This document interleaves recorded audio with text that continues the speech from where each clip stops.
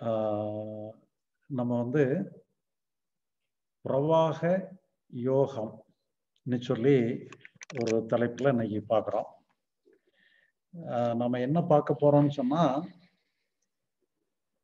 கிட்டத்தட்ட பார்த்தீங்கன்னு சொன்னா இது ஆன்மீகமா உலகியலா சொல்லி கண்டுபிடிக்க முடியாத அளவுல ரெண்டும் சேர்ந்து தான் இருக்கு. ஒரு காலத்துல நாங்க வந்து ஏதோ ஒரு ஆர்வத்துல ஆன்மீகங்கிற ஆன்மீகத்துக்குள்ள நுழைஞ்சோம். அப்படி நம்ம ஆன்மீகத்துக்குள்ள நுழையும் பொழுது எனக்கு வந்து பதினெட்டு வயசு. என்னெல்லாமோ பயிற்சி முயற்சிகள் தவ தியானங்கள் எத்தனை விதமான ஒழுக்க விதிகள் இப்படி என்னெல்லாமோ பண்ணோம். பண்ணி கடைசியில் அந்த ஞானம் அடைஞ்சாதான் அந்த ஆன்மீகத்துல உச்சநிலைங்கிற உச்ச நிலைங்கிற மாதிரி ஒன்றை கண்டுபிடிச்சு அந்த ஞானம் அடைகிறதுக்காக முயற்சி பண்ணிட்டோம். இப்போ இது என்ன ஆச்சுன்னு சொன்னா பதினெட்டு வயசுல ஆரம்பிச்ச பயணம் வந்து எப்போ முடிஞ்சதுன்னு சொன்னா முடியும் போது எனக்கு வயசு ஐம்பத்தெட்டு ஆகிப்போச்சு நாற்பது வருஷ போராட்டம் நாற்பது வருஷம் முயற்சி. அப்போ அதுல கூட ஒரு ஞானி ஒருத்தர் சொல்றாரு. நீங்க என்னைக்கு ஞானம் அடைகிறீங்களோ அன்னைக்கு தான் உங்களுக்கு வாழ்க்கையே ஆரம்பமாகுதுன்னு அப்போ எங்களுக்கு ரொம்ப கஷ்டமா இருக்கும் என்ன பண்ண இன்னும் வாழவே ஆரம்பிக்கலையா? வாழ தெரியாம வாழ்ந்துட்டு இருக்கிறோமா? சொல்லி விழுந்து விழுந்து தேடிட்டு இருந்தோம். கடைசியில் ஒரு வகையா என்னன்னு சொல்லி கண்டுபிடிச்சிட்டோம். கண்டுபிடிச்சு முடியும் போது வயசு ஐம்பத்தெட்டு ஆகி போச்சு. பார்த்தீங்கன்னு சொல்லி சொன்னா அது கண்டுபிடிச்சதுக்கு பிறகுதான் இவ்வளவு சாதாரணமான விஷயமா இருந்திருக்கேன் இதை தெரிஞ்சுக்கிட்டதுக்கு நம்ம உலகத்தை ஏழு சுத்தி சுத்திட்டு வந்துட்டோமே என்கிற மாதிரி நமக்கு தோணுச்சுது பிறகு இப்போ நாம நமக்குன்னு சொல்லி ஒரு அணுகுமுறை வச்சிருக்கிறோம். வச்சதுக்கு அப்புறம் நிறைய பேர் பார்த்தீங்கன்னு சொன்னா ஆயிரக்கணக்கான பேர் ஞானம் அடைஞ்சிருக்காங்க. இது நம்முடைய வாழ்க்கையோட சேர்ந்த ஒன்றா ஆகிப்போச்சு ஞானத்தை வந்து நம்ம வாழ்க்கையில இருந்து பிரிக்கணும்னு அவசியம் இல்லைன்னு சொல்ற மாதிரி நம்ம வாழ்க்கை வேற ஞானம் வேற இல்லை. நீங்க ஞானம் அடைஞ்சாதான் வாழ்க்கையை சரியா வாழ முடியும்னு சொல்ற மாதிரி ரெண்டும் இணைஞ்சு போயிருக்கு. அதனாலதான் நம்ம வந்து பிரவாக யோகங்கிறது கூட வாழ்வியல் யோகம்னுட்டு கூட நம்ம சொல்லிக்கிறோம் நம்ம எப்படி வாழ்றதுங்கிறத கற்றுக்கிட்டதும் ஒண்ணுதான். பிரவாக யோகம்னுட்டு கற்றுக்கிட்டதும் ஒண்ணுதான் உண்மையிலே அப்படி நம்ம என்னதான் தெரிஞ்சுக்கிடுறோம்? பிரம்மாண்டமா என்னெல்லாமோ சொல்லி வச்சிருக்கிறாங்களே. நீங்க இந்த ராமகிருஷ்ணர் பரமஹம்சரை பத்தி கேள்விப்பட்டிருப்பீங்க. அவர் ஒரு சின்ன ஒரு ஒரு வேடிக்கையா ஒரு கதையை மாதிரி ஒண்ணு சொல்லுவார். ஒரு ஒரு வயசான ஒருத்தர் அவருக்கு பார்வை சரியா இருக்காது. அந்த பார்வை இல்லாத உள்ள ஒரு வீட்டுக்கு பக்கத்து வீட்டுல கை குழந்தை ரெண்டு வயசு குழந்தை. அது பால் புறையேறி மயக்கம் போட்டு ஃபர்ஸ்ட் எய்ட் பண்ணிக்கிட்டு இருக்கிறாங்க. ஒரே கூச்சலும் குழப்பமா பக்கத்து வீட்டுல இருக்கு. அப்போ இவரு என்னன்னு விசாரிக்கிறாரு அந்த பார்வை இல்லாதவர் என்னன்னு விசாரிக்கிறாரு அப்போ அதுல என்ன சொல்றாங்கன்னு சொன்னா பால் இந்த குழந்தைக்கு வந்து பால் புறையேறி போச்சுது. அதனால அது மூச்சு விட முடியாம திணறிட்டு கிடக்குது. எல்லாரும் ஃபர்ஸ்ட் எய்ட் பண்றாங்கன்ற மாதிரி சொல்றாங்க. அப்போ ஒரு பால்னா என்ன? ஏன்னா அவருக்கு பார்வை இல்லைங்கிறனால அவருக்கு சரியா தெரில அதனால பால்னா என்னன்னு சொல்லி கேட்கிறாரு அப்போ இந்த வெள்ளையா இருக்குங்களா இந்த வெள்ளையா இருக்குமே அந்த வெள்ளையா இருக்கிற ஒரு பொருள் அது பால்னா. அதுதான் சிக்கிக்கிட்டுங்கிறாங்க. அப்ப அவர் வெள்ளைன்னா எப்படி இருக்கும்னு கேட்கிறார் இந்த கொக்கு இருக்கு இல்லையா? கொக்கு தான் வெள்ளையா இருக்கும். அந்த கொக்கு மாதிரி இருக்கும். வெள்ளையா இருக்கும் அப்படின்னு சொல்லி விளக்கம் சொல்றவர் சொல்றார். இவருக்கு கொக்கும் தெரியாது. கொக்கு எப்படி இருக்கும்னு கேட்குறாங்க. அப்போ கொக்கு எப்படி இருக்கும்னு சொல்லி விவரிச்சு சொல்ல தெரில அவருக்கு. அப்போ அவர் என்ன பண்ணானுங்கன்னா அவர் ஒரு வளைஞ்சு நெளிஞ்சு போய் இருக்கும் கொக்கு வெள்ளையா இருக்கும் வளைஞ்சு நெளிஞ்சு போயிருக்கும்னு சொல்லி எப்படி இருக்குன்னு சொன்னா அவர் கையை அப்படி வளைச்சு காட்டி இப்படி வளைஞ்சு நெளிஞ்சிருக்குன்னு சொல்லி அவர் கையை வளைச்சு காட்டி சொல்றாரு. அப்போ அந்த அந்த பார்வை இல்லாதவர் என்ன சொல்றேன்னு சொன்னா இப்படி ஒரு வளைஞ்சு நெளிஞ்சு இப்படி ஒரு பொருளை போய் ஒரு பச்சை குழந்தைக்கு ஊட்டுனீங்கன்னு சொன்னா அது விற்காம என்ன செய்யும்? நீ சொல்றாரு. பாத்தீங்கன்னு சொல்லி சொன்னா யாருமே ஒன்றும் தப்பா ஒன்றும் சொல்லல. கரெக்டா தான் சொல்லியிருக்கிறாங்க. இருந்தாலும் அதை கனெக்ட் பண்ணி சொல்லும் பொழுது பார்த்தீங்கன்னு சொன்னா ஒரு பால் புரையிறதுங்கும் போது ஏதோ ஒரு வகையான ஒரு ஒரு கையில வளைஞ்ச கை எப்படி இருக்கும் அப்படி அந்த மாதிரி ஒரு கையை ஒழுங்கினது மாதிரி அது கிட்டுதுங்கிற மாதிரி ஒரு தேவையில்லாத அர்த்தங்கள் ஏற்பட்டு போச்சு. இப்ப இதே மாதிரிதான் நினைச்சு சொன்னா ஆன்மீகங்கிற பேர்ல நம்ம நடைமுறைக்கு சம்பந்தம் இல்லாத ஒண்ணுங்கிற மாதிரி ஆகி ஒரு பெரிய பிரம்மாண்டப்படுத்தி. அதுக்கு என்னன்னு சொல்லி சொன்னா நீங்க ஆண் ஞானங்கிறதெல்லாம் சர்வசாதாரணமெல்லாம் அடைஞ்சிட முடியாது. நீங்க வாழ்க்கையை வந்து முதல்ல பிரம்மச்சாரியத்துல ஆரம்பிக்கணும். பிறகு பிறகு கிரகஸ்தத்துக்கு வரணும். பிறகு பிறகு வானப்பிரஸ்தம்னு சொல்லி நீங்க அதுக்கு முயற்சி பண்ணணும். பிறகு அதுக்கு பிறகு சன்னியாசம் எடுக்கணும். இவ்வளவு தூரம் பண்ணினதுக்கு அப்புறம் தான் நீங்க கிரமமா அதே இதாகி டெவலப் ஆகி நீங்க ஞானம் அடைய முடியும். எடுத்த இடத்துல எல்லாம் ஞானம் எல்லாம் சாத்தியம் இல்லைங்கிற மாதிரி சொல்லி நம்மளை சுத்தி வளர்ச்சி எங்கேயோ கொண்டு போய் ஒரு சாதாரண விஷயம். சாதாரண விஷயத்த தெரிஞ்சுக்கிடுறதுக்கு நம்மளை ரொம்ப சுத்த விட்டுறாங்க இப்ப உண்மையிலே பாத்தீங்கன்னு சொன்னா இப்ப நமக்கு உண்மையிலேயே நமக்கு என்ன தேவை? நம்ம ஞானம்னா என்னன்னே தெரியாது. ஞானம்னா என்னன்னே தெரியாம எல்லாரும் சொன்னதுக்காக ஞானம் வேணும்னு நினைக்கிறோம். இந்த ஞானம்னா என்னன்னே நமக்கு தெரியல. இப்ப நமக்கு என்ன தேவைன்னு சொன்னா அந்த ஞானம்னா ஒன்றும் பெருசா சொல்றாங்க. அது கிடைச்சுன்னு சொன்னா நம்ம வாழ்க்கையில நிம்மதியா இருக்கலாம் சந்தோஷமா இருக்கலாம். அப்ப நம்மளை நிம்மதியா வச்சுக்கிடுறதுக்கு இந்த ஞானம் தேவை. நான் மாதிரி ஒரு முடிவுக்கு எல்லாருமே என்ன சொல்லணும்னு சொன்னா நீ ஒரு சாதா அஞ்ஞானிக்கு நிறைய பிரச்சனை இருக்கும். ஞானிக்கு பிரச்சனையே கிடையாது. அவர் எப்பவுமே ஆனந்தமா இருப்பாருங்கிற மாதிரி ஜெனரலா சொல்லிடுவாங்க. அதனால நமக்கு என்னன்னு சொன்னா சரி அப்ப ஞானம் அடைஞ்சா நம்முடைய எல்லா பிரச்சனையும் தீர்ந்துடும் நாமளும் ஞானம் அடைவோம். நீ சொல்லி தேடி புறப்படுறோம். ஞானம்னா என்னன்னே தெரியாமலேயே தேடிட்டு துளாவிட்டு அடையிறோம் இப்போ உண்மையிலே பார்க்க போனான்னு சொன்னா இந்த ஞானங்கிறத விட கூட நம்ம வாழ்க்கையில நிம்மதியா இருக்கணும் பிரச்சனை இல்லாம இருக்கணும் மகிழ்ச்சியா இருக்கணும். இதுதான் நம்முடைய நோக்கமா இருக்கு. ஞானத்தை தேடுறது கூட ஞானம்னா என்னன்னே தெரியாது. ஞானம் நமக்கு எப்படி வேலை செய்யுதுன்னு நமக்கு தெரியாது. இருந்தாலும் நம்ம ஒரு உத்தேசமா ஞானம் கிடைச்சுன்னு நமக்கு எந்த பிரச்சனையும் இல்லை நிம்மதியா இருக்கலாம்ங்கிற ஒரு இதை தேடிதான் நம்ம போறோம். இதுக்காக தான் எல்லாருமே ஞானத்தை தேடும் இப்போ உண்மையிலேயே அப்போ பார்த்த போனான்னு சொன்னா நம்முடைய பிரச்சனை தான் நமக்கு உண்மையான பிரச்சனையா இருக்கு. நம்முடைய பிரச்சனைகள் தீர்ந்துட்டுன்னு சொன்னா எல்லா பிரச்சனைகளையும் தீர்ந்துருது நாம நிம்மதியா இருக்கலாம். இப்ப நம்முடைய உண்மையிலே ஞானம்னா என்னன்னு தெரியறத விட நம்முடைய பிரச்சனை என்ன என்னன்னு தெரிஞ்சுக்கிட்டா தான் அது நான் ஞான ஓட்டத்தோட எப்படி கனெக்ட் ஆகுதுங்கிறத நம்ம கண்டுபிடிக்கணும் இப்ப நமக்கு வந்து இது யாருகிட்டயோ போய் தெரிய வேண்டியதில்லை நமக்கிட்டே நம்முடைய வாழ்க்கையை நம்ம எடுத்துக்கிட்டோம்னு சொன்னா நமக்கு எப்போ பிரச்சனை ஆரம்பிக்குது. நீங்க அஞ்சு வயசு குழந்தையா இருக்கிற வரைக்கும் உங்களுக்கு ஏதாவது பிரச்சனை இருந்ததா? யாருக்கும் எந்த பிரச்சனையும் கிடையாது. நிம்மதியா வாழ்ந்தோம் சந்தோஷமா வாழ்ந்துகிட்டு இருந்தோம். இந்த அஞ்சு வயசுக்கு பிறகு என்ன ஆகுது நமக்கு?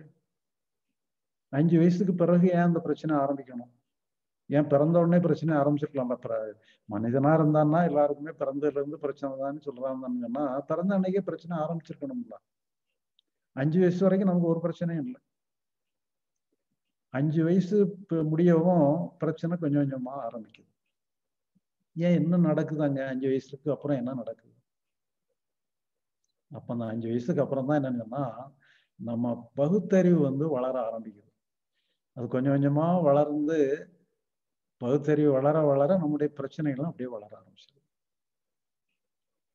அப்போ பழைய நம்ம வந்து நம்ம புறப்படுற நேரத்துல நமக்கு எந்த பிரச்சனையும் கிடையாது. நம்ம குழந்தையா இருக்கிற வரைக்கும் நமக்கு எந்த பிரச்சனையும் கிடையாது. பகுத்தறிவினுடைய தாக்கம் குறைவா இருக்கிற அந்த குழந்தை பருவத்துல நமக்கு எந்த பிரச்சனையுமே இல்லை. எப்போ நமக்கு பகுத்தறிவினுடைய தாக்கம் அதிகமாகுதோ பிரச்சனையினுடைய தாக்கமும் அதிகமாயிட்டே இந்த கிறிஸ்டியானிட்டியில சொல்லுவாங்க. ஆதாம் ஏவாள். அவங்க ரெண்டு பேரும் இந்த ஈடன் தோட்டத்துல இருக்கிறாங்க. பகுத்தறிவுன்னுட்டு சொல்லக்கூடிய ஒரு மரத்தினுடைய பழத்தை சாப்பிட்டதுனாலதான் அவங்களுக்கு இந்த பிரச்சனை. அவங்க வந்து அந்த குழந்தைத்தன்மையெல்லாம் இழந்து இன்னோசன்ஸ் எல்லாம் இழந்து அவங்க கன்னிங்காக மாறிட்டாங்க. அதனால அவங்க நீங்க இந்த இப்போ சொர்க்கத்துல மோட்சத்தில் இருக்கிறதுக்கு தகுதி இல்லை நீங்க பூலோகத்துக்கு போங்கன்னு அனுப்பி விட்டாங்க. இதே இது அப்படி அவங்களுடைய கான்செப்டில் மாற்றி சொல்லியிருக்காங்க. அந்த பகுத்தறிவு பழம்ங்கிறதுன்னு சொல்லி சொன்னா நம்ம பகுத்தறிவு தான். நம்ம பகுத்தறிவு வந்து வேலை செய்ய ஆரம்பிச்சிட்டுனாலே இன்னசென்ஸ் இழந்துரும். ஜீசஸ் கூட சொல்றார் நீங்க பழையபடி வந்து நீங்க குழந்தைய ஆகலன்னு சொன்னா உங்களுக்கு மோட்ச ராஜ்யம் உங்களுக்கு கிடைக்கவே கிடைக்காது. அப்போ அவங்க என்ன சொல்ல வராங்கன்னு சொல்லி சொன்னா எல்லாரும் இதைத்தான் சொல்றாங்க. அந்த குழந்தைத்தன்மை தான் சிறந்தது அந்த குழந்தைத்தன்மைக்கு நீங்க வரணும். அந்த குழந்தைத்தன்மைக்கு வந்துட்டோம்னு சொன்னா அங்க பிரச்சனையே இல்லை. நம்ம அறிவுக்குள்ள மாட்டிக்கிட்டோம்னு சொன்னா பிரச்சனை தான். இப்போ அந்த குழந்தைத்தன்மைன்னா உண்மையில என்ன? எப்படிதான் செயல்படுது? இப்போ பாத்தீங்கன்னு சொல்லி சொன்னா நாம நம்முடைய குழந்தைய கூட்டிகிட்டு ஒரு கெஸ்ட் வீட்டுக்கு போறோம். அந்த அந்த கெஸ்ட் வீட்டில் என்ன பண்றாங்க? நமக்கு கொஞ்சம் ஸ்வீட்டு இது எல்லாத்தையும் நமக்கு ஒரு தட்டில் வச்சு தராங்க. நம்ம குழந்தை என்ன பண்ணணும்னு சொன்னால் அதை எல்லாத்தையும் எடுத்துக்கிட்டு என்ன கொஞ்சம் வேணும் என்ன கொஞ்சம் வேணும்னு கேட்குதுன்னு வச்சுக்கோங்க. ஏன்னா அது இன்னசென்ட்டாக இருக்கு. அதுக்கு பிடிக்குது கேட்குது எந்த தப்புமே கிடையாது. ஆனா நான் என்ன சொல்றேன்னு சொல்லி சொன்னா அப்படிலாம் கேட்கக்கூடாது. நான் அவங்க தருவாங்க. நீ நீ அமைதியாக இருந்துட்டு சொல்லி நாம் அந்த குழந்தைய அமைதிப்படுத்தும் இப்போ அந்த குழந்தைய பொறுத்தளவு இருந்துச்சுன்னா அது இன்னசென்ஸ் அதுக்கு வந்து இதை கேட்கலாம் கேட்கக்கூடாதுங்கிற ஒரு பாகுபாடெல்லாம் கிடையாது. மனசுல என்ன தோணுதோ அதை அப்படியே கேட்டு இப்போ இதே மாதிரி குழந்தைய பார்த்தீங்கன்னு சொன்னா குழந்தை ஏதாவது ஒரு பொருள் இப்போ ஒரு கத்தி வச்சு விளையாடிட்டு இருக்குன்னு வச்சுக்கோங்க நம்ம வீட்டு குழந்தை. ஒரு கூர்மையான கத்தியை வச்சு விளையாடிட்டு இருக்கு. அது ஏதாவது மிஸ்ஹேண்டில் ஆயிட்டுதுன்னு சொன்னா கையை கால கிழிச்சிடும் அப்போ நாம என்ன பண்ணிடுறோம்னு சொன்னால் அந்த கத்தியை பிடிங்கிறதா அந்த குழந்தைட்ட உடனே அது வீல் வீல்னு சத்தம் போட்டு எனக்கு வேணும்னு சொல்லி ஒத்த காலில் நம்ம அழுது. இப்ப நாம என்ன பண்ணிடுறோம்னு சொன்னா ஒரு நல்ல ஒரு அழகான பொம்மையை புதுசா அது வரைக்கும் பார்க்காத ஒரு புதுசா ஒரு அழகான ஒரு பொம்மையை அது கையில கொடுத்த உடனே அது சமாதானம் ஆகி அந்த பொம்மையை வச்சு விளையாட ஆரம்பிச்சது அந்த கத்தியெல்லாம் மறந்தது. ஒரு கோவப்பட்டு அழுகிறதும் ஒரு நிமிஷத்துல வந்துருது. அதுல இருந்து விடுபடுறதும் அதுக்கு சுலபமா இருக்கு. இப்ப நாம அப்படி கிடையாது. நாம அப்படி அந்த மாதிரி குழந்தை மாதிரி பிஹேவ் பண்ண மாட்டோம். அப்படி எதுக்காவது ஒன்று வருத்தப்பட்டோம்னு சொன்னால் அந்த வருத்தத்துல இருந்தோ பய கோபத்துல இருந்தோ ஈஸியாக வெளியே வர மாட்டோம். அதுலயே சுழந்துட்டு இருப்போம். எப்படி எனக்கு இதை பிடுங்கலாம்? எனக்கு அதை அந்த பொருளையே திருப்பி கொடுன்னு சொல்ற மாதிரி இப்படி வரும் அப்போ அந்த இன்னோசன்ட் ஸ்டேட் என்னன்னு சொன்னா நம்ம மனதுல உள்ளது அப்படியே நமக்குள்ள ரிஃப்ளெக்ட் ஆகுது. இது வந்து குழந்தையா இருந்தாலும் சரி பெரியவங்களா இருந்தாலும் சரி. இப்போ உதாரணமா பாத்தீங்கன்னு சொன்னா நாம வந்து வருத்தப்படக்கூடாது மகிழ்ச்சியா தான் இருக்கணும் கோவப்படக்கூடாதுன்னு எல்லாம் முடிவெடுத்து வச்சிருப்போம். ஆனா குறிப்பிட்ட சந்தர்ப்பத்துல நம்மள அறியாமலே கோபம் வந்துடும் நம்மள அறியாமலே பயம் வந்துடும் நம்மள அறியாமலே வருத்தம் வந்துடும் நம்ம அறிவு சொல்றதெல்லாம் நம்மளோட உணர்ச்சிகள் கேட்காது. நம்மளோட உணர்ச்சிகள் இன்னைக்கும் அது இன்னசென்டா தான் இருக்கு. கோவப்படுறதோ பயப்படுறதோ வருத்தப்படுறதோ ஈஸியா குழந்த மாதிரியே நமக்கும் ஏற்பட்டுருது.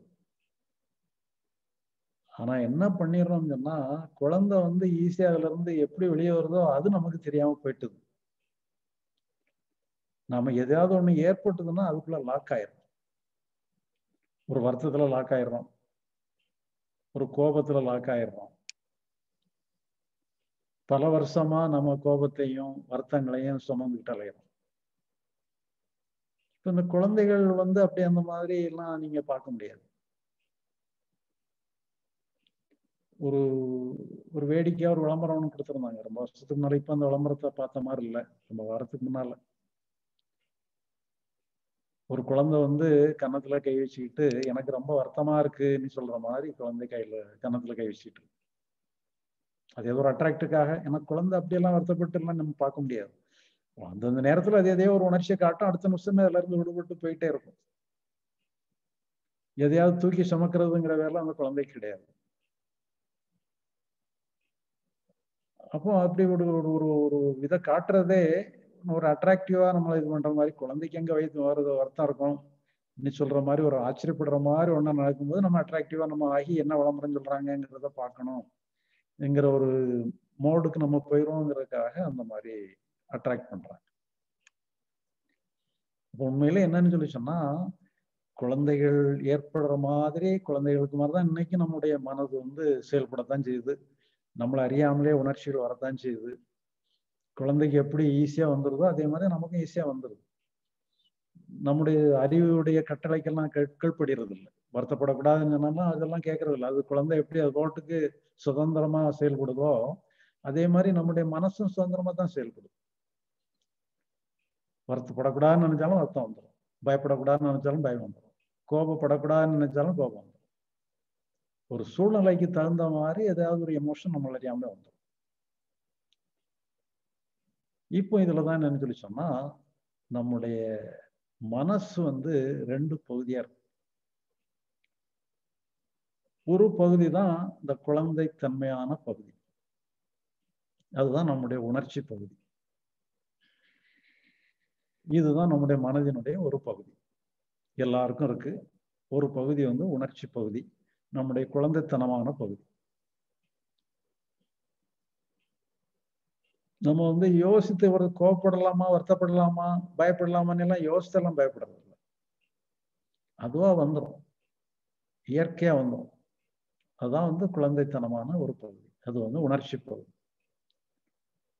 ரெண்டாவது பகுதி தான் என்னன்னு சொல்லி சொன்னா நம்முடைய அறிவு பகுதின்னு சொல்றது. நம்முடைய இன்டலெக்ட் அல்லது நம்ம சாஸ்திர ரீதியாக சொல்லணும் புத்தின்னு சொல்றோம். இந்த குழந்தைத்தனமான உணர்ச்சி பகுதியை வந்து மனம்னு சொல்றோம். இந்த அறிவு பகுதியை புத்தின்னு சொல்றோம். மனம் புத்தின்னு பிரிச்சுக்கலாம். அல்லது உணர்ச்சி பகுதி அறிவு பகுதினையும் பிரிச்சுக்கலாம். இந்த ரெண்டு பகுதியும் சேர்ந்தது தான் நம்முடைய மனசு. நம்முடைய அதாவது நம்முடைய மனோ இயக்கமே இந்த ரெண்டு பகுதியும் சேர்ந்தது. நம்ம சின்ன வயசுல வந்து நமக்கு அறிவுடைய வளர்ச்சி இல்லை. பிறகு காலப்போக்கில் அறிவினுடைய வளர்ச்சி சேர்ந்துக்கிடுது அறிவை நம்ம டெவலப் பண்ணுறதுல தான் நம்ம வாழ்க்கையில உள்ள பிரச்சனைகள் இது எல்லாத்தையும் சந்திக்கிறதுக்கு நம்முடைய அறிவு தான் நமக்கு தேவைப்படும். அப்போ அந்த அறிவினுடைய உதவி இல்லாமல் நம்ம எந்த காரியமும் பண்ண முடியாது. எந்த செயல் பண்றா இருந்தாலும் அறிவை பயன்படுத்தி தான் பண்ணணும். இப்போ ஒருத்தர் வந்து நிறைய படிக்கிறாரு. ஒரு ஒரு ஐஏஎஸ் அதிகாரியா வந்துடுறாருன்னு வச்சுக்கிடுவோம் அவர் அறிவை பயன்படுத்தி தான் அவருடைய நிர்வாகங்கள் அத்தனையும் பண்ண முடியும்.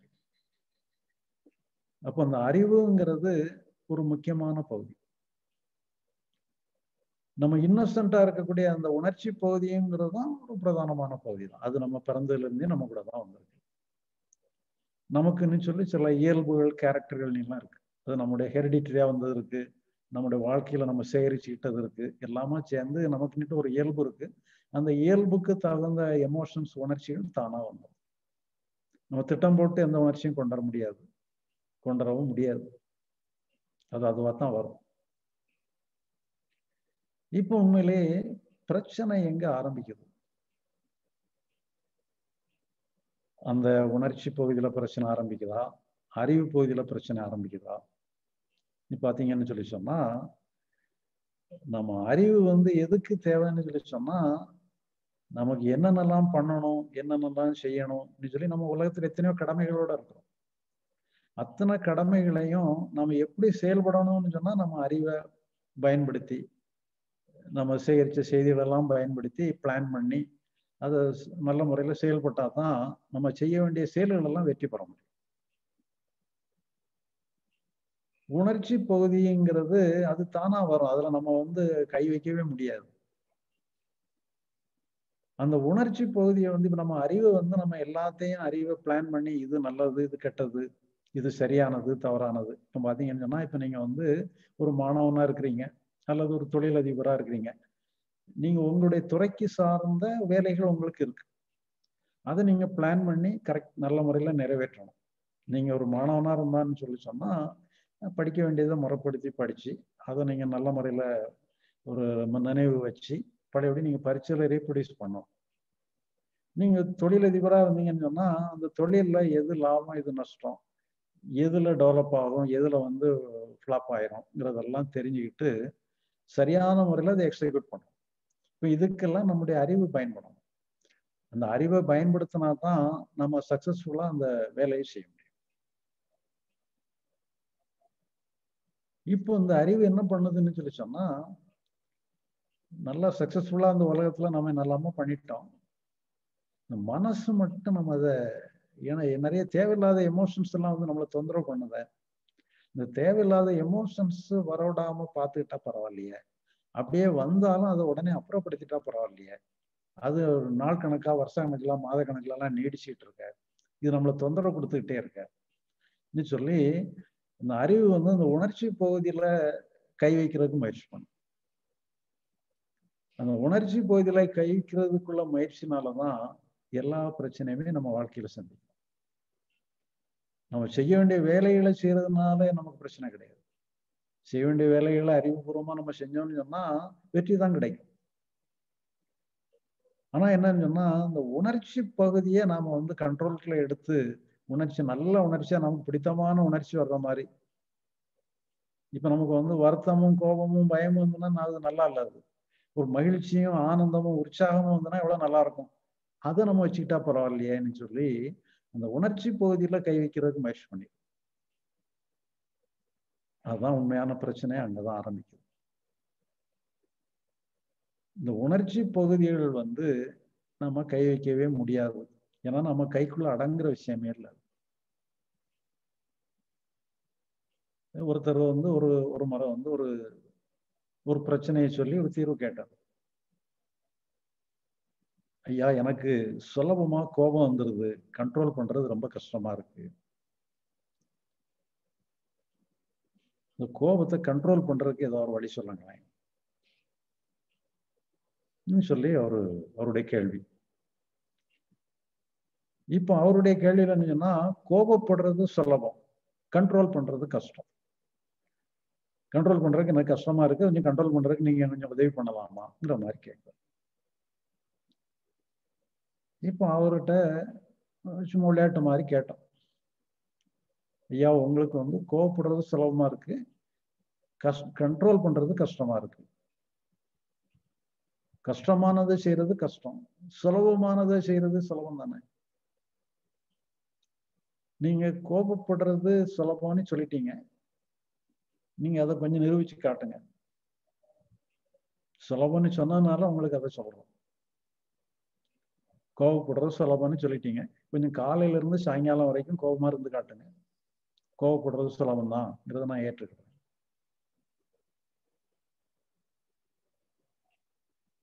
அதாவது நம்மளுடைய மனசுல என்னன்னு சொல்லி சொன்னா ஏதோ ஒரு வகையில இந்த உணர்ச்சிகள் எல்லாமே நம்ம சொன்னா கேட்கும் அதை கேட்குற மாதிரி வச்சுக்கிடலாங்கிற மாதிரி நம்மளை அறியாமலே ஒரு எண்ணம் நமக்கு இருந்துட்டு இருக்கு. அதனால வந்து இந்த கோபத்தை நம்ம வச்சுக்கிடலாம். உண்மையிலேயே கோபம் நம்மலாம் கொண்டு வரல. அது அதுவாக தான் வந்தது. நாம நினைச்சுக்கிட்டோம் நாம கொண்டுட்டோம்னு மாதிரி நினைச்சுக்கிட்டோம். உண்மையிலே அது தானா வருது. ஒரு சூழ்நிலையை எதிர்கொள்ளும் பொழுது நம்ம இயல்புக்கு தகுந்த மாதிரி கோபம் பயம் வருத்தம்னா தானா வந்துடும் சரி இப்ப எல்லாம் நமக்கு தேவையில்லாதெல்லாம் வந்துட்டுது. அது சரி பண்ண வேண்டாமா? கோபம் தானே நமக்கு வாழ்க்கையை பிரச்சனையா கொடுக்குது. வருத்தம் தானே பிரச்சனை ஏற்படுத்துது. பயம் தானே பிரச்சனை ஏற்படுத்துது. இதெல்லாம் சரி பண்ணிட்டா நம்ம நல்லா இருப்போம்ல. சரி கண்ட்ரோல் பண்றதுதான் கஷ்டம். வேற எந்த வகையில அதுக்கு நம்ம தீர்வு கொடுக்கறது? தேவையில்லாத எமோஷன்ல இருந்து விடுபடுறதுக்கு என்னதான் வழி? நல்ல எமோஷன்ஸ் வந்தா பரவாயில்ல. இருந்துட்டு போட்டுன்னு விட்டுடலாம். இப்படி தேவையில்லாத பிரச்சனைக்குரிய எமோஷன்ஸ் வந்துன்னு சொன்னா இருந்துட்டு போட்டேன்னு விட முடியலையே. அதுல இருந்து நம்ம விடுபடுறதுக்கு என்ன வழி? இப்ப இது என்னன்னு சொல்லி சொன்னா இதுக்கு இது ஆன்மீக கேள்வியே கிடையாது. நம்ம பார்த்தா அது ஆன்மீகம் சம்பந்தப்பட்ட கேள்வி மாதிரி இருக்கு. ஆனா இது ஒரு விஞ்ஞானபூர்வமான கேள்வி. அறிவியல் பூர்வமான கேள்வி. இப்போ நீங்கள் வந்து இப்போ நல்ல கோடை காலம். மழை காலங்களில் பார்த்தீங்கன்னு சொன்னா இந்த இடி மின்னல் எல்லாம் நம்ம பார்க்கலாம். ஒரு ஃப்ளாஷ் லைட் மாதிரி மின்னல் வெட்டும் ஒரு நாலஞ்சு வினாடி கழிச்சு தான் இடி ஓசை கேட்கும். நம்ம யாரும் மின்னலுக்கு பயப்பட மாட்டோம். அந்த இடி ஓசை கேட்கும் பொழுது ஏதோ நம்ம தரையில விழுந்துரும்னு சொல்லி பயப்பட்டு சிலவங்க எல்லாம் அந்த அர்ஜுனன் பேர் பத்துன்னு எல்லாம் சொல்லி எல்லாம் கூட இந்த கிராமங்கள் அப்படி எல்லாம் சொல்லுவாங்க. அர்ஜுனா அர்ஜுனான்னு எல்லாம் சொன்னான்னு சொன்னா இடி நம்ம தரையில விழாது இந்த மாதிரி எல்லாம் சொல்லுவாங்க. இதெல்லாம் இந்த மின்னல் வெட்டின உடனே அந்த மாதிரி எல்லாம் சொல்ல ஆரம்பிச்சிடும் இப்ப இதுல சயின்ஸ் என்னன்னு சொல்லி சொன்னா அந்த இடியையும் மின்னலையும் பிரிக்க முடியாது. அந்த மின்னல் எப்போ தோன்றுதோ அப்பவே எங்க இடியும் வந்துருது. மின்னல் வேற இடி வேறன்ட்டு கிடையாது. ஆனா என்னன்னு சொன்னா அந்த ஒளியினுடைய வேகம் அதிகம். அதனுடைய ஸ்பீட் ஜாஸ்தி. அதனால ஒளி வந்து சீக்கிரம் நம்மளை வந்து சேர்ந்துருது. அந்த சவுண்ட் வந்து நம்மளை வந்து சேர்றதுக்கு இன்னும் கொஞ்சம் டைம் எடுக்கும். அது நம்மளை ரீச் ஆகிறதுக்கு தான் டைம் எடுக்குது ஒழிய அது தோன்றி மறைஞ்சிருது. மின்னல் மறையும் போது இடியும் மறைஞ்சு போயிருது. ஆனா அந்த ஓசை வந்து நம்மளை வந்து சேர்றது கொஞ்சம் டைம் எடுக்கும். இப்ப இதே மாதிரிதான் என்னன்னு சொல்லி சொன்னா நமக்கு வரக்கூடிய எமோஷன்ஸ் எல்லாமே மின்னல்கள் தான். எல்லாமே ஒரு எலக்ட்ரானிக் வைப்ரேஷன்ஸ் தான். தோன்றி மறைஞ்சிருது அவ்வளவுதான். ஒரு ஃபிளாஷ் மாதிரி வந்து போயிருது அது நம்ம ரெகனைஸ் பண்றது எல்லாமே முடிஞ்சு போனது தான் நம்ம ரெகனைஸ் பண்றோம். நம்ம இடின்னுட்டு நீட்டு நம்ம கேட்கும் பொழுது உண்மையில அங்க இடியே கிடையாது. இல்லாத ஒண்ணு இருக்கிற மாதிரி நமக்கு ஒரு தோற்றம் தான் இருக்கு. சப்தம் கேட்கறதுக்கு நமக்கு தெரியுது சப்தம் கேட்கத்தான் செய்யுது இருக்கிற மாதிரி தான் இருக்கு. ஆனா உண்மையில அங்க இடி கிடையாது. இல்லாத ஒண்ணு இருக்கிற மாதிரி தோணும். இப்ப இதே மாதிரிதான் நமக்குடைய வரக்கூடிய அத்தனை எமோஷன்ஸுமே ஒரு வைப்ரேஷன் ஆகி வந்து தோன்றி அந்த கணத்துல மறைஞ்சு போயிருது. எல்லாமே ஒரு வைப்ரேஷன்ஸ் தான். எல்லா எமோஷன்ஸுமே ஒரு வைப்ரேஷன் மாதிரி தோன்றி மறைஞ்சு போயிடும். அதான் அதனுடைய இயற்கை. நான் சரி பண்ற வரைக்கும் அதெல்லாம் நிற்காது அங்கே எந்த எமோஷனையுமே நிற்காதாங்க தேக்கி வைக்கவே முடியாது எல்லாமே. அதோட எலக்ட்ரிக் இது மாதிரி அது பாட்டுக்கு ஒரு மின்னல் மாதிரி போயிருது நம்ம முடிஞ்சு போன உடனே என்ன பண்ணிடுறோம்னு சொன்னா அதை சரி பண்ணணும் அதை நான் கண்ட்ரோலுக்குள்ள எடுத்துக்கணும்னு சொல்லி ஒரு தேவையில்லாம நம்ம உள்ள நுழைஞ்சிடணும் நுழைஞ்சு ஒரு கலட்டா பண்ணி ஒரு கலக்கத்தை ஏற்படுத்தும் அது இன்னும் கொஞ்சம் ரினிவலா கூட ஆயிடும்.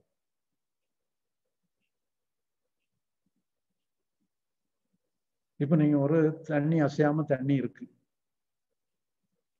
அதுல வந்து நீங்க வந்து உங்க விரலை வச்சு லேசா தொடுறீங்க இந்த மேல் பரப்புல. தொட்ட உடனே என்னங்கன்னா இந்த விரல் பட்ட இடத்தை சுத்தி அப்படியே ஒரு சின்ன அலை மாதிரி ஃபார்ம் ஆகுது.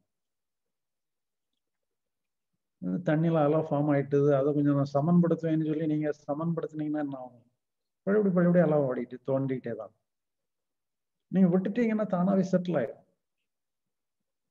நம்ம ஒன்றும் பண்ண தேவையில்ல.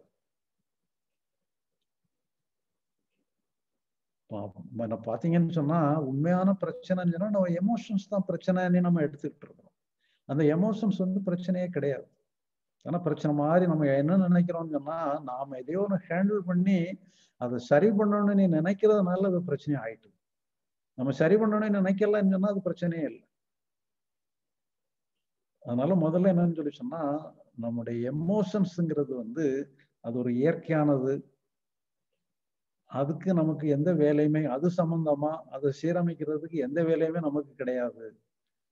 இங்க ஒரு சாதாரண ஒரு அண்டர்ஸ்டாண்டிங் வந்துட்டோம்னு சொல்லி சொன்னா அந்த எமோஷன்ஸ் வந்து சுதந்திரம் ஆயிடும் நாம வந்து ஏதோ ஒரு வகையில் அது இருக்கிற மாதிரி நினைச்சு என்னதையோ ஒன்று பண்ணி ஒரு இழு இழுபறி போராட்டத்துல இருந்துட்டு நம்முடைய எமோஷன்ஸை சரி பண்ணி நல்லா வச்சுக்கணும் வச்சு நமக்கு நாமளே ஒரு போராட்டத்துல ஈடுபட்டு அங்க ஒண்ணு நமக்கு வேலையே இல்லை நம்முடைய அறிவுக்கு எந்த வேலையுமே கிடையாது. அது எப்படி வேணாலும் இருந்துட்டு போலான்னு விட்டுட்டோம்னு சொன்னா அந்த எமோஷன்ஸ் அத்தனையுமே சுதந்திரம் ஆயிடும் எந்த தொந்தரவும் இல்லாம அது தோன்றி மறையிற தன்மைக்கு வந்துடும் அதுக்கப்புறம் நமக்கு என்ன எங்க வேலை இருக்குன்னு சொல்லி சொன்னா எமோஷன்ஸ் பக்கத்துல வேலை இல்லைன்னு சொல்லி சொன்னா நமக்கு எங்க வேலை இருக்குன்னு சொன்னா நம்ம செய்ய வேண்டிய செயல்கள்ல புறத்துல தான் நமக்கு வேலை இருக்கு. நமக்கு எத்தனை விதமான ஆயிரக்கணக்கான பிரச்சனைகள் நமக்கு இருக்கலாம். அந்த ஆயிரக்கணக்கான பிரச்சனைகளும் நமக்கு ஆயிரம் விதமான ஒரு எமோஷன்ஸ் ப்ரெஷர்கள் இதெல்லாமே கொண்டு வந்துட்டு இருக்கலாம். ஆனா நமக்கு வந்து அது கொண்டு வரக்கூடிய ப்ரெஷர்ல நமக்கு வேலையே இல்லை. அது கிரியேட் பண்ற எமோஷன்ஸ்ல நமக்கு வேலையே கிடையாது. ஆனா அந்த எமோஷன்ஸுக்கு காரணமான பிரச்சனைகள்ல நமக்கு வேலை இருக்கு. அதெல்லாம் வந்து ஒரு பிசிக்கல் ஆஸ்பெக்ட்ல உள்ளது. ஒரு செயல் ரீதியான அணு அம்சத்துல உள்ளது. அங்க நம்ம என்ன செய்யணுமோ அதை செய்யணும். அது செய்யறது மூலமா அந்த பிரச்சனை சால்வ் ஆயிட்டுன்னு சொன்னா அப்புறம் அது கிரியேட் பண்ற எமோஷனும் இல்லாம போயிடும். ஆனா நாம என்ன பண்ணிடுறோம்னு சொன்னா அந்த எமோஷனை சரி பண்ணணும்னு நினைச்சு இங்க திரும்புறதுனால தேவையில்லாத இடத்துல நம்ம அறிவை பயன்படுத்தி தேவையில்லாத பிரச்சனையை நம்ம விலைக்கு வாங்கிடும் அதனால நமக்கு எங்க வேலை இருக்குன்னு சொன்னா நம்ம செயல்பட வேண்டிய களம்ங்கிறது புற உலகத்தை பொறுத்த அளவுல நம்ம செயல் அம்சத்தை பொறுத்த அளவுல நிறைய வேலை இருக்கு. அங்கே நீங்கள் பிளான் பண்ணலாம். சரியான முறையில் செயல்படலாம். நீங்கள் என்னென்ன கடமையில் இருக்கீங்களோ அந்த கடமை அத்தனை நீங்கள் செய்யலாம். சொல்லப்போனான்னு சொன்னால் நம்முடைய எமோஷன்ஸுமே வந்து அதுக்கு உதவிக்கு தான் வருது. நம்ம அதை பயன்படுத்திக்கலாம். அந்த எமோஷனை கூட பயன்படுத்திக்கலாம். இப்போ நீங்கள் வந்து வீட்டில் நிம்மதியாக உட்காந்துருக்கீங்க இரவு நேரம். நீங்க கதவை சரியா பூட்டல போல தருது ஒரு பைத்தியக்காரன் உள்ள நுழைஞ்சிடறான் வீட்டுக்குள்ள. இப்போ உங்களுக்கு என்ன எமோஷன்ஸ் வரும்? ஒண்ணு பயம் வரலாம். அல்லது அந்த பைத்தியக்காரனை பார்த்து கோபம் வரலாம். நீங்க கோபம் வந்துன்னு சொன்னா என்ன பண்ணுவீங்க? உடனே அவனை நீங்களே கோபத்துல நாலு திட்டு திட்டி அவனை வெளியே அனுப்பி கதை போட்டிடுவீங்க. சரி அவனை பார்த்தா கோபம் வரல. பயம்தான் வருது. பயம் வந்தா நீங்க என்ன பண்ணுவீங்கன்னு அவனை ஹேண்டில் பண்றது கஷ்டம்னு நினைச்சு பக்கத்து வீட்டுக்காரங்களெல்லாம் சத்தம் போட்டு கூடுறீங்க எல்லாரும் ஓடி வந்து அவனை பிடிச்சி வெளியே அனுப்பி விட்டுறாங்க. இப்ப அந்த பைத்தியக்காரன் உள்ள நுழையும் பொழுது உங்களுக்கு பயமும் வரல கோபமும் வரல. அவனை ஹேண்டில் பண்ணவே முடியாது. ஏன்னா ஏதோ ஒரு எமோஷன் இருந்தா தான் நீங்க அவனை ஹேண்டில் பண்ண முடியும். சொல்ல போனோம்னு சொன்னா அந்த புறச்சூழ்நிலையை ஹேண்டில் பண்றதுக்கு தான் எமோஷன்ஸே வருது. அதை நம்ம செயலுக்கு கன்வெர்ட் பண்ணிக்கிடலாம். அதில் கிடைக்கக்கூடிய எனர்ஜியை பயன்படுத்தி நம்ம புறச்செயலை டீல் பண்ணிக்கிடலாம். மற்றபடி அந்த எமோஷன்ஸ் வந்து அது அதன் அளவில் நமக்கு எந்த வேலையுமே இல்லை. இந்த எமோஷன்ஸ் இல்லாமல் பார்த்துக்கணும். எம்ம எப்பவுமே வந்து ஒரு மன அமைதியோடு இருக்கணும். எந்த பிரச்சனையும் நம்மளை பாதிக்காதபடி. தாமரை இலை தண்ணீர் மாதிரி அப்படியே அமைதியா இருக்கணும். அப்படி இந்த மாதிரி எல்லாம் நிறைய கற்பனைகள்லாம் வச்சிருக்கிறோம். ஆன்மீகத்தை பொறுத்த அளவுல அப்படிலாம் இருக்கு. மனம் வந்து எப்பவும் சாந்தியாவே இருக்கணும். அந்த மாதிரி இருந்தோம்னா என்னன்னா நாம ஒரு தியானம் பண்ணலாம் சமாதியில இருக்கலாம் இப்படி இந்த மாதிரி தான் இருக்க முடியும். நம்ம செய்ய வேண்டிய வேலைகள் எல்லாம் போயிடும் உண்மையிலே நம்ம செய்ய வேண்டிய வேலையை சரியா செய்யறதுக்காகத்தான் ஆன்மீகமே அமைக்கப்பட்டிருக்கு. அதனால நமக்கு எல்லா எமோஷன்ஸுமே நமக்கு வந்து பயன்படக்கூடிய எமோஷன்ஸ் தான். அதை எடுத்து நாம் என்ன செய்யணுமோ அந்த செயலுக்கு தகுந்த மாதிரி நம்ம செயல்படணும். அப்போ செயலுக்கு தகுந்த மாதிரி நாம எடுத்து செயல்படுறதுக்கு நம்ம எல்லா எமோஷன்ஸையும் எடுத்து பயன்படுத்திக்கணும். ஆனா எந்த எமோஷனையும் நம்ம சரி பண்ணணும்னு சொல்லி நமக்கு எந்த வேலையுமே கிடையாது. ஏன்னா அதுவே அதுவே மறைஞ்சு போயிருது. அதெல்லாம் தோண்டி மறையக்கூடிய ஒண்ணு. நாம் அதை அப்புறப்படுத்தணும்னு எந்த இதுவுமே கிடையாது. அதே மாதிரி நல்ல எமோஷன்ஸ் வந்திருக்கு இதை விடாம பிடிச்சு வைக்கணும்னாலும் பிடிச்சு வைக்க முடியாது. அது வரும்போது அதனுடைய எனர்ஜியை நம்ம பயன்படுத்திக்கிடலாம். அந்த அளவோடு நிப்பாட்டிக்கலாம் இப்ப நம்ம புறத்தை டீல் பண்றது அது பல விதமான அணுகுமுறைகள் இருக்கு. அது நம்ம அறிவுபூர்வமா என்னெல்லாமோ எதை எப்படி திட்டமிடணும் என்ன மாதிரிங்கிறதெல்லாம் நம்ம அறிவை பயன்படுத்தி நம்ம நிறைய காரியங்கள் பண்ணலாம். அப்போ அறிவை எப்படி பயன்படுத்துறது? இங்கிறது புறத்துக்காக நம்ம பயன்படுத்தணும் இப்போ புறத்துக்காக நம்ம பயன்படுத்தும் பொழுது புறத்தை பொறுத்த அளவு நம்ம சில முடிவுகள் எடுக்கணும் என்ன பண்ணணும் என்ன பண்ணக்கூடாது? இப்போ உதாரணமா நம்ம ஒரு வேலை புதுசாக இது வரைக்கும் நமக்கு அனுபவமே இல்லை. அந்த வேலையிலும் நம்ம போய் செய்ய வேண்டியிருக்கு. ஒரு குறிப்பிட்ட வேலையை வந்து நாம இப்போ உடனே செய்யணுமா? அல்லது இன்னும் கொஞ்ச நாள் கழிச்சு செய்யணுமா?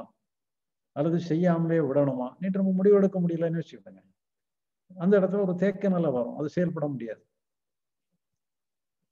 அப்ப நம்ம வந்து ஒண்ணு செய்யணும்னு முடிவெடுக்கலாம் இல்லைன்னா செய்ய வேண்டான்னு முடிவெடுக்கலாம் இல்லைன்னு சொன்னா ஒரு சரியான முடிவுக்கு வர்ற வரைக்கும் இதை நம்ம கொஞ்சம் பெண்டிங்ல வச்சுக்கிடுவோம்னுட்டு முடிவெடுக்கலாம் ஏதோ ஒரு வகையில் ஒரு முடிவு எடுத்தீங்கன்னா தான் உங்களுக்கும் அந்த செயலுக்கும் இடையில உள்ள உறவு சரியா இருக்கும்.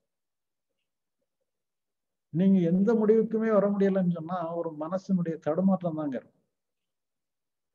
ஏன்னா நீங்க வந்து மனசு வந்து தடுமாறாம இருந்தா தான் செயல் சரியா இருக்கும். இப்ப முடிவுகள்னு சொன்னா நம்ம அறிவுங்கிறதே முடிவுகளால் ஆக்கப்பட்டது. ஒவ்வொன்றுக்கும் ஒரு பேர் கொடுத்துருக்கோம் இது மரம் இது மலர் இது தண்ணி இது நெருப்பு. நீட்டு சொல்லி ஒண்ணுக்கு ஒரு பேர் இதெல்லாமே ஒரு முடிவுகள் தான் நம்ம அறிவுபூர்வமான சில கன்க்ளூஷன்ஸ் வச்சிருக்கிறோம். இது இப்படி இப்படின்னு சொல்லி ஒன்றுக்கு ஒரு பெயர் கொடுத்து அது நம்முடைய முடிவுகள் அதெல்லாம் முடிவுகள் தான் இப்போ நீங்க நடந்து போகும்போது இது ரோடா தண்ணியா தரையான்னு சொல்லி குழப்பமா இருந்துன்னு சொன்னா நீங்க ஃபர்தரா போக முடியாது. அப்போ உங்க முடிவு தான் உங்களை வழி நடத்தும் அப்போ புறத்த பொறுத்த அளவுல நம்ம செய்ய வேண்டிய செயல்களை பொறுத்த அளவுல நம்ம ஒரு முடிவுல எடுக்கணும். செய்யணும் செய்யக்கூடாது இது வேணும்னு சொல்லி சொன்னா நீங்க செய்யணும்னு நினைச்சா முடிவுக்கு வந்துடும் அந்த அந்த தகுந்த மாதிரி எனர்ஜி எல்லாம் கூட வர ஆரம்பிச்சு இப்போ உதாரணமா பாத்தீங்கன்னு சொன்னா இப்போ நம்ம ஒரு மேஜையில கை வைக்கிறோம். இந்த கைக்கு மேல ஒரு ஐம்பது கிலோ வெயிட்டை தூக்கி வைக்கிறாங்கன்னு சொன்னா நம்ம கையால அதை தாங்க முடியாது. கை நசுங்கி போயிடும். இப்ப அதே நேரத்துல ஒரு சூட்கேஸ் ஐம்பது கிலோ வெயிட்ல இருக்கு. அது நாம தான் தூக்கணும்னு முடிவு பண்ணி நீங்க தூக்குனீங்கன்னு சொன்னா தூக்கக்கூடிய ஆற்றல் உங்க கைக்கு வந்து எப்பவும் நம்ம கையில எல்லாம் அந்த மாதிரி ஐம்பது கிலோ தூக்குற மாதிரி வெயிட் எல்லாம் ஆற்றல் எல்லாம் கிடையாது. ஒரு முடிவு எடுத்தீங்கன்னு சொன்னா அது ஆற்றல் வந்துடும் அதே மாதிரிதான் நான் சொல்லி சொன்னா நம்ம புறத்தை பொறுத்த அளவுல நம்ம செய்ய வேண்டிய செயல்களை பொறுத்த அளவுல நாம என்ன செய்யணும் என்ன செய்யக்கூடாது ங்கிறது சம்பந்தமா என்ன செய்யணும் எப்படி செய்யணுங்கிற மாதிரி ஒரு முடிவுகள் எடுக்கணும். அப்ப முடிவுகளை எடுத்ததுக்கு பிறகு நீங்க முடிவுகளை எடுத்துட்டீங்கன்னு சொன்னா அப்புறம் அதை எக்ஸிக்யூட் பண்றதுக்கு உங்களுக்கே ஒரு பிளானிங் செயல்திறன் இது என்ன மாதிரி பண்ணலாம் எப்படி எக்ஸிக்யூட் பண்ணா வெற்றி கிடைக்கும் அதுல என்னென்ன பிரச்சனைகள்லாம் இருக்குங்கிறது எல்லாத்தையுமே நீங்க ஒரு ஒரு ஆய்வுக்கு எடுத்துக்கிட்டதுக்குள்ள வாய்ப்பு எல்லாமே கிடைக்கும். அதனால என்னன்னு சொன்னா இப்போ நம்ம வந்து நம்முடைய மனதை பொறுத்த அளவுல ரெண்டு பகுதி. ஒன்று வந்து உணர்ச்சி பகுதி. இன்னொன்று வந்து நம்முடைய இன்டலெக்ட் பார்ட் அல்லது அறிவு பகுதி. இந்த எமோஷனல் பார்ட்டை பொறுத்த அளவு அது இயற்கையானது. அதுல வந்து உண்மையிலேயே நமக்கு வேலை இல்லை. அது தெய்வீகமானது இயற்கையானது அதுல வந்து நல்லது கெட்டது சரியானது தவறானதுன்னு ஒண்ணுமே கிடையாது. இந்த உணர்ச்சி வருத நல்லா இருக்க. இந்த உணர்ச்சி வந்தா இது பழிக்கப்பட்ட உணர்ச்சியா இருக்க இது மோசமான உணர்ச்சியா இருக்க இது நம்மளுக்கு வந்து நம்ம மனசெல்லாம் டேமேஜ் பண்ணிடுத ஒரு நர்வஸ் சிஸ்டத்துல இதாயிருது நம்முடைய ஒரு பயத்துல இதாயிருதுங்கிற மாதிரி நிறைய இதுகள்லாம் நம்ம வந்து உணர்ச்சிகளை வந்து நம்ம கிளாஸிஃபை பண்ணியிருக்கோம் நல்லது கெட்டது வேண்டியது வேண்டாதுன்னு சொல்லி. அது எல்லாமே தவறானது. அகத்தை பொறுத்தளவுல எல்லா உணர்ச்சிகளும் தெய்வீகமானது இயற்கையானது. ஏன்னா அது எல்லாமே தோன்றி மறையுது மறையும் போது தான் நமக்கு வந்ததே தெரியும் அதனால அது கொஸ்டின் பண்ண வேண்டிய அவசியமே இல்லை. அதை நம்ம ஃப்ரீயா விட்டுட்டோம்னா போதும். அது சம்பந்தமும் நமக்கு எந்த விதமான வேலையுமே இல்லைன்னு சொல்லி நம்ம அதுவும் கூட ஒரு அண்டர்ஸ்டாண்டிங் தான். அந்த அண்டர்ஸ்டாண்டிங்கை தான் ஆன்மீகத்தை பொறுத்தளவு ஞானம்னு சொல்றோம். நம்ம அக உணர்ச்சிகளை பொறுத்த அளவுல நமக்கு எந்த வேலையுமே இல்லைன்னு கண்டுபிடிக்கிற ஒரு கண்டுபிடிப்பு அல்லது எடுக்கக்கூடிய ஒரு முடிவு இந்த முடிவுக்கு பேரு ஞானம் அல்லது என்லைட்மெண்ட் சொல்றோம். அப்படி என்லைட்மெண்ட் ஆயிட்டுன்னு சொல்லி சொன்னா ஆயிட்டுன்னு சொல்லி சொன்னா நம்முடைய உணர்ச்சி பகுதிங்கிறது லிபரேட் ஆயிடுது. அது சுதந்திரம் ஆயிடுது சுதந்திரங்கிறது வேற ஒன்றும் இல்லை. தானா வந்து தானா மறைகிற மாதிரி அது அதுவா இயங்குற மாதிரி இயங்குது. நமக்கு அங்க வேலை இல்லைங்கிறது அதுவா இயங்குது. அது அதுவா சுதந்திரமா இயங்குது ஃப்ரீயா இயங்குது. வைப்ரேட்டாக இயங்குதுங்கிற மாதிரி அது சுதந்திரமா இருக்கு. அப்போ அது சம்மந்தமாக நமக்கு எந்த வேலையுமே இல்லைன்னு முடிக்கிறது நம்ம ஞானம்னு சொல்கிறோம் அப்படி விட்டதுனால அது அது சுதந்திரமா இயங்குறது லிபரேஷன் முத்தி மோஷன்லாம் பேர் சொல்றாங்க. இப்ப இது வந்து ஆன்மீக மாதிரி எடுத்துக்கிடலாம். இது உலகிலாவும் எடுத்துக்கிடலாம். ஏன்னா நமக்கு வந்து அங்க எந்த ஏதாவது ஒரு வேலை இருந்ததுன்னா நீங்க எந்த பயிற்சி பண்ணுங்க அந்த பயிற்சி பண்ணுங்கிற மாதிரி எத்தனையோ பயிற்சிகளுக்கு போகலாம். ஆனா என்னன்னு சொல்லி சொன்னா அதெல்லாம் வந்து ஒரு ஆரம்பகால பயிற்சியில இருக்கிறவங்களுக்கு ஆரம்பகால ப முயற்சிகள்ல இருக்கிறவங்களுக்கு அந்த மாதிரி சில பயிற்சிகள் கூட பண்ணலாம். தியானம் அது இதுன்னு எல்லாம் பண்ணும் பொழுது ஒரு நல்ல அனுபவங்கள் கிடைக்கும் எக்ஸ்பீரியன்ஸ் எல்லாம் கிடைக்கும். ஆனா உண்மையிலே அது எல்லாம் ஒரு ஒரு பிகினர் ஸ்டேஜ் தான். ரொம்ப ப்ரிலிமினரி ஸ்டேஜ் தான். அங்க எந்த அனுபவமும் எல்லா அனுபவமுமே ஒண்ணுங்கும் போது அங்க உயர்ந்த அனுபவத்தை கிரியேட் பண்றேன் நல்ல எமோஷன்ஸை கிரியேட் பண்றேங்கிற வேலையே வேண்டியதில்லை. அது இயற்கையா என்ன எமோஷன்ஸ் வந்தாலும் தானா வந்து தானாவே மறையுது. மறைஞ்ச பிறகுதான் வந்ததே நமக்கு தருது. அதனால நமக்கு அங்கே எந்த வேலையுமே இல்லைன்னுட்டு அதை முடிச்சுக்கிட்டோம்னு சொல்லி சொன்னா நான் முடிச்சுக்கிடுறது வந்து நம்ம அறிவுபூர்வமான ஒரு ஆய்வு பண்ணி தான் அதை முடிக்க முடியும். எடுத்த இடத்துல யாரோ சொன்னாங்கன்னுட்டெல்லாம் முடிச்சுக்க முடியாது. நமக்கே அது சரிதானிட்டு படணும். நமக்கே சரிதானி பட்டுட்டுன்னு சொல்லி சொன்னா முடிச்சுக்கலாம். ஏன்னா விஷயம் அவ்வளவுதான். நீ அந்த இதை வந்து முடிச்சுக்கிடணுங்கிறத நம்ம புரிஞ்சுக்கிட்டோம்னு சொல்லி சொன்னா நீங்க அதை அதை விட்டுடுறீங்க. அது அதுவா இயங்குது. அதுவா இயங்கும் போது அது சுதந்திரமா தோன்றி மறைஞ்சு போயிடுது. அதனால அதுக்கப்புறம் அந்த பகுதி சம்மந்தமும் நமக்கு எந்த வேலையுமே இல்லை. ஏன்னா அதை நம்ம கிரியேட் பண்ணவும் முடியாது. எந்த எமோஷன் நாம கிரியேட் பண்ண முடியாது. அது அதுவா தான் வரணும். அதுவா தான் போகணும். அதனால அது சம்பந்தமா நமக்கு எந்த வேலையும் இல்லைன்னு அந்த சாப்டர் நம்ம க்ளோஸ் பண்ணிட்டோம்னு சொன்னா நமக்கு இருக்கக்கூடியது நம்ம எதிர்கொள்ளக்கூடிய புற உலகம். இந்த செயல் உலகம் நம்ம கடமைகள் இதுதான் நம்ம கையில இருக்கு. இப்ப இந்த கடமைகளை பொறுத்த அளவுல அது எப்படி சுலபமாகுதுன்னு சொன்னா அந்த முடிவுகள் எடுக்கிறது மூலமா தான் சுலபமாகுது. முடிவுகள் எடுக்கலன்னு சொன்னா அதுவும் சிக்கலாயிடும். முடிவே எடுக்க முடியலன்னு சொன்னா சிக்கலாயிடும்.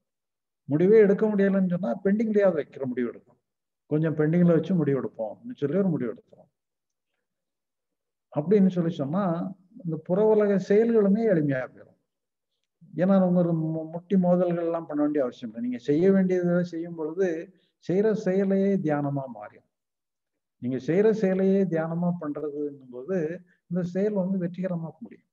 நீங்க என்ன செய்யணுமோ அது நல்ல முறையில செய்றீங்க. பிரச்சனைகள் வந்து நாவலாக தான் இருக்கும். புது புதுமையாக தான் இருக்கும். பல விதமான அம்சத்துல இருக்கும். பட் இருந்தாலும் நீங்க அதை எடுத்து செயல்படணும்னு முடிவு பண்ண பிறகு அது எப்படி செயல்படணுங்கிற ஐடியா உங்களுக்கே வந்துடும் இது வரைக்கும் யாரும் செய்யாத செயலா இருந்தாலும் கூட வழிகாட்டுறதுக்கு ஆளே இல்லைன்னாலும் கூட நீங்களே வெளியே கண்டுபிடிச்சிடுவீங்க ஏன்னா உங்க கவனம் அதுல திரும்பிட்டுன்னு சொல்லி சொன்னா உங்களுக்கே அந்த உங்க அறி மனசே வந்து உங்க அறிவே வந்து உங்களுக்கு பாதையை காட்டும். என்ன செய்யணும்? எப்படி செஞ்சா சக்சஸ்ஃபுல்லா முடிக்கலாம்னு சொல்லி ஒரு முடிவை காட்டும். அப்போ நீங்க வந்து அதை செயல்படுத்தி சக்ஸஸ்ஃபுல்லாக முடிக்கணுங்கிற ஒரு முடிவுக்கு வரணும் செயல்படணுங்கிற ஆர்வத்துக்கு வரணும். வந்துட்டீங்கன்னு சொன்னா அது ஒரு முடிவு நல்ல முடிவு கிடைக்கும். அப்போ நம்ம வந்து அகத்தை பொறுத்தளவுல அக உணர்ச்சிகளை பொறுத்தளவில் ஃப்ரீயாக விட்டுட்டு செயல்களை பொறுத்தளவில் கையில் எடுத்து இது பண்ணும் பொழுது நம்ம அக உலகமும் புற உலகமும் இணைஞ்ச ஒரு டோட்டல் நியூ டைமென்ஷன் நமக்கு கிடைக்கும் இந்த பிரவாகம்னு நம்ம சொல்றது எல்லாமே நம்முடைய அந்த மனதினுடைய அந்த எமோஷனல் பார்ட்ல தான் சொல்லுது. ஏன்னா அது வந்து ஒரு பிரவாகம் மாதிரி தோன்றி மறைஞ்சிக்கிட்டே இருக்கு. அதுல நமக்கு வேலை இல்லாத அது ஓக்கில் விட்டுறணுங்கிறது தான். ஆனா அந்த பிரவாகங்கிறது புற உலகத்தை பொறுத்த அளவுல செயல்களை பொறுத்த அளவுலாம் அப்படி பிரவாகமா போகாது. அங்க நம்ம செய்ய வேண்டியதை செய்யணும். கையில எடுத்து கூட செய்யணும். நம்ம நின்று கூட செயல்படும் அது போக்கில் விட்டுற முடியாது. நாம நாம நமக்கு தகுந்த மாதிரி அதை சூழ்நிலையை கொஞ்சம் மென் பண்ணி உழைச்சி நாம சரி பண்ணணும். இப்ப உண்மையிலே இதுதான் நம்ம செய்ய வேண்டிய வேலை இங்க ஒண்ணுதான். அங்க வந்து நம்ம புரிஞ்சுக்கிட்டு அதை விட வேண்டிய வேலை இங்க புரிஞ்சுக்கிட்டு செயல்பட வேண்டிய வேலை. அங்க செயல்படுறதுக்கு ஒண்ணுமே இல்லை. செயல்படுறதுக்கு எதுவுமே இல்லைங்கும் பொழுது அதை நம்ம லிபரேட் ஆக்கிடுவோம் அதுல நம்ம எதையாவது ஒண்ணு பண்ணணும்னு சொல்லி நம்ம நினைக்கும் பொழுதுதான் அந்த பண்ண பண்ணணும்னு நினைக்கிற நேரத்துலதான் நமக்கு வந்து அது சம்பந்தமான ஒரு போராட்டம். இது இப்ப என்ன பண்ணணும்? என்ன செய்யணுங்கிற மாதிரி எல்லாம் நமக்கு போராட்டம் வந்தது. அதனால அந்த அகத்தை பொறுத்த அளவுல நமக்கு நம்ம எந்த விதமான வேலையுமே இல்லை என்ன சொல்லி நம்ம முடிச்சிட்டோம்னு சொல்லி சொன்னா இந்த அகங்கிறது ஃப்ரீயா லிபரேட் ஆகி போயிட்டு. அப்போ புறத்தை பொறுத்த அளவுல நம்ம வந்து செயல்படும் அங்க நம்ம செயலை எடுத்துக்கிடணும். பிளான் பண்ணணும். செயல்படணும். அங்க நம்ம ஏனோதானெல்லாம் விட முடியாது. அங்கே செய்ய வேண்டியதெல்லாம் முறைப்படுத்தி நம்ம செஞ்சால் தான் சரியாக இருக்கும். இப்போ இதில் வந்து நான் ஓரளவு மனதினுடைய இந்த ரெண்டு அம்சத்தை பற்றியும் எமோஷனல் பார்ட் இன்டலெக்சுவல் பார்ட்டுங்கிற மாதிரி ஒரு ரெண்டு அம்சத்தை பற்றியும் நம்ம சொல்லிட்டோம். இப்போ இதில் வந்து ஏன்னா இப்போ நாங்கள் அதையே திருப்பி திருப்பி பேசிகிட்டு இருக்கனால எங்களை பொறுத்தளவு நான் சொல்ல சொல்ல வேண்டியெல்லாம் சொல்லிட்டோங்கிற மாதிரி ஒரு எண்ணம் எங்களுக்கு ஏற்படலாம். ஆனா இப்போ நீங்க வந்து முதல் முறையாவோ அல்லது ரெண்டாவது முறையாவோ நீங்க அதை கேள்விப்படலாம். அதனால உங்களுக்கு வந்து இதுல அகம்னா என்ன புறம்னா என்ன எமோஷனல் பார்ட்னா என்ன இன்டலெக்சுவல் பார்ட்னா என்ன இதனுடைய செயல்பாடு என்ன அதனுடைய செயல்பாடு என்னங்கிறது கொஞ்சம் விளங்கியும் விளங்காமலும் கூட இருக்கிறதுக்கு வாய்ப்பு இருக்கு. அதனால இதை வந்து உங்களுக்கு எந்த அளவுக்கு விளங்கியிருக்கு இதுல இன்னும் அதுல என்ன வழங்க வேண்டியிருக்குங்கிறத வந்து கொஞ்சம் கேள்வி பதில் மூலமா நம்ம போனோம்னு சொல்லி சொன்னா அதை நம்ம கொஞ்சம் அதை பார்க்கலாம்.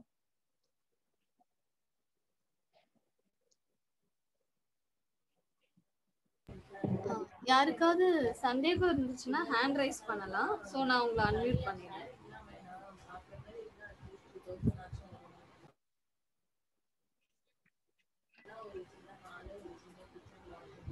அருண் அவர்களே நீங்க பேசலாம்.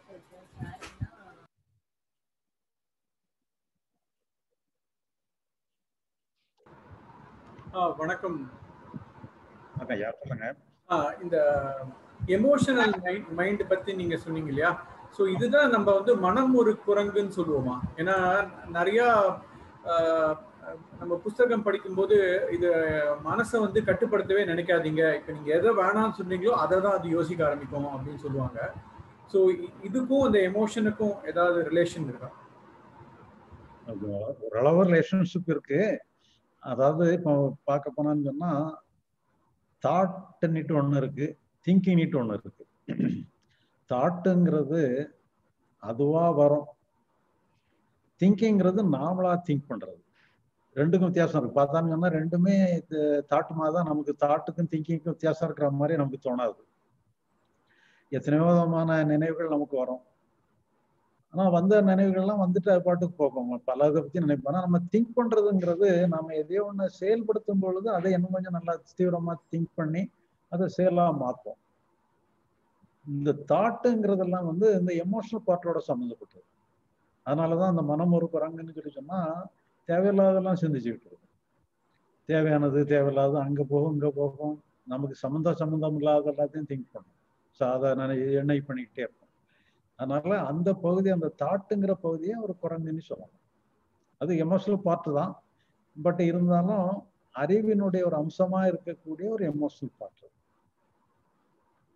இது ரிலேட்டடா இந்த இந்த எமோஷன் பார்ட்ன்றது தான் நம்மளுடைய பூர்வ ஜென்ம நினைவுகள்லாம் கூட வந்து போகும் அப்படின்னு சொல்லி சொல்லுவாங்க இல்லையா? இது இது இல்லாம இருக்கிறவங்க தான் ஜடம் அப்படின்னு சொல்லி சொல்லுவாங்க இல்லையா? அதாவது முக்கால்வாசி ஞானிகள் வந்து இந்த ஜடத்தன்மையை அடைஞ்சிருவாங்க இல்லையா? இந்த எமோஷன்றதே அவங்களுக்கு இருக்காது. அது என்னுடைய அண்டர்ஸ்டாண்டிங் கரெக்டா இல்ல அப்படி இல்லை. நம்ம அப்படியெல்லாம் ஒரு ஒரு எண்ணத்தை ஏற்படுத்துற மாதிரி நிறைய அவர் சொல்லிட்டாங்க. அது சரியான ஒரு வழக்கம் இல்லை. எல்லா எமோஷன்ஸும் வர்றதுதான் ஒரு ஆரோக்கியமானது. எமோஷன்ஸே வராம இருக்கிறது நம்ம ஒரு ஜடநிலைக்கு போற மாதிரி அது சமாதி நிலை மாதிரி உள்ளது தியான நிலைகள்ல இருக்கிறதுங்கிற மாதிரி ஒரு பயிற்சி நிலைகள்ல அப்படி நல்ல ஒரு இடத்துல போய் நம்ம ரெஸ்ட்ல உட்காரலாம். அதெல்லாம் வந்து ஒரு ஆயத்த நிலைகள் தான். அந்த நிலைகள் சரியான கிடையாது. ஒரு ப்ரிப்பரேட்டரி ஸ்டேஜ் அது. நான் விபாசனா ட்ரைனிங் போடும்போது என்ன சொன்னாங்கன்னா உங்களை மனசே கவனிங்க கவனிங்கன்னு சொல்லிட்டே இருந்தாங்க. அதுல பல உணர்ச்சிகள் வரும். ஆனா சில உணர்ச்சிகள் பாத்தீங்கன்னா நீங்க ரொம்ப வாட்ச் பண்ணும்போது சில பேர் உங்களுக்கு ஒரு சில பேர்கிட்ட வந்து ஒரு கோபம் இருக்கும். அப்போ உங்களுக்கு ஒரு பர்டிகுலர் பார்ட் ஆஃப் த பாடியில வந்து ஒரு சூடு இருக்கும். இல்லைன்னா ஒரு குத்து குத்தல் மாதிரி இருக்கும். ஸோ நீங்க அதை நீங்க கவனிக்க கவனிக்க இதெல்லாம் வந்து உங்களை விட்டு தானா கொஞ்சம் கொஞ்சமா குறையும் அப்படின்ற மாதிரி சொன்னாங்க. விபாசனா ட்ரைனிங்ல அது அது எந்த அளவுக்கு கரெக்ட் நீங்கள் நீங்க அந்த பயிற்சியை பொறுத்த அளவுல அது சில நன்மைகளை கொடுக்கும். எல்லாமே ஒரு எல்லாமே எல்லாமே சரியானதுதான். ஒரு காலம் வரைக்கும் அது பயன்படுத்திக்கலாம். ஆனால் கடைசி வரைக்கும் அது தேவையில்லை.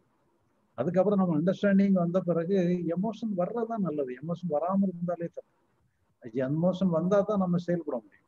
அப்போ நம்ம வந்து சூழ்நிலைகளை வந்து நம்ம நிர்வாகம் பண்ணுறதுக்கு தகுந்த மாதிரி சில முடிவுகள் எடுத்துக்கணும். இப்போ பார்த்தீங்கன்னு சொன்னால் ஒருத்தரை வந்து உங்களுக்கு பிடிக்கல அவரை பத்தி ஒரு மோசமான எமோஷன்ஸ் வருதுன்னு சொன்னா நீங்க அவரை பத்தி பிடிக்காதவருங்கிற ஒரு வச்சுட்டு இருக்கிறனாலதான் அந்த எமோஷன் வருது. உங்களுக்கு பிடிச்சவருங்கிற மாதிரி நீங்க எமோ உங்களுடைய அறிவை உங்களோட முடிவை மாத்திக்கிட்டீங்கன்னு சொன்னா பிடிச்ச மாதிரி உள்ள எமோஷன் மாறிடும். எமோஷனே மாறிடும். அதனால அதை நம்ம போய் எமோஷனை வாட்ச் பண்ணி ஒரு அந்த மாதிரி தியான நிலைக்கு போகணுன்றலாம் அவசியம் உங்க முடிவுகளை மாத்தி அமைச்சுக்கிட்டாலே போதும். நன்றி. கிளியர்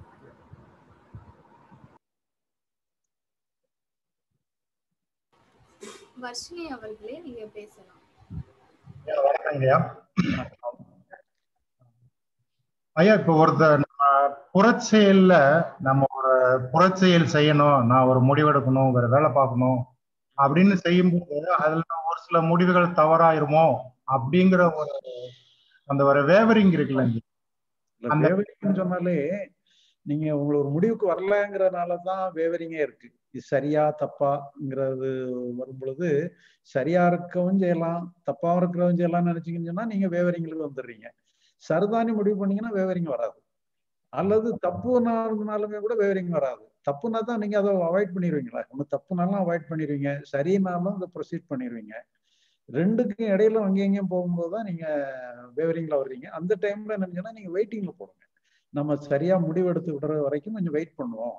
நம்ம இப்போ உடனே நம்ம செயல்ல இறங்க வேண்டாம். இன்னும் இதுல விசாரிக்க வேண்டியெல்லாம் விசாரிச்சு இதுல உள்ள எக்ஸ்பர்ட் கிட்ட ஒப்பீனியனை கேட்டுட்டு முடிவுக்கு வருவோம் செய்யணுமா வேண்டாமாங்கிற முடிவுக்கு வருவோம்னு சொல்லி அதை பெண்டிங்ல வைங்க. பெண்டிங்ல வச்சீங்கன்னா அந்த மாதிரி வேவரிங் எல்லாம் வராது. சரியா ரொம்ப நன்றி.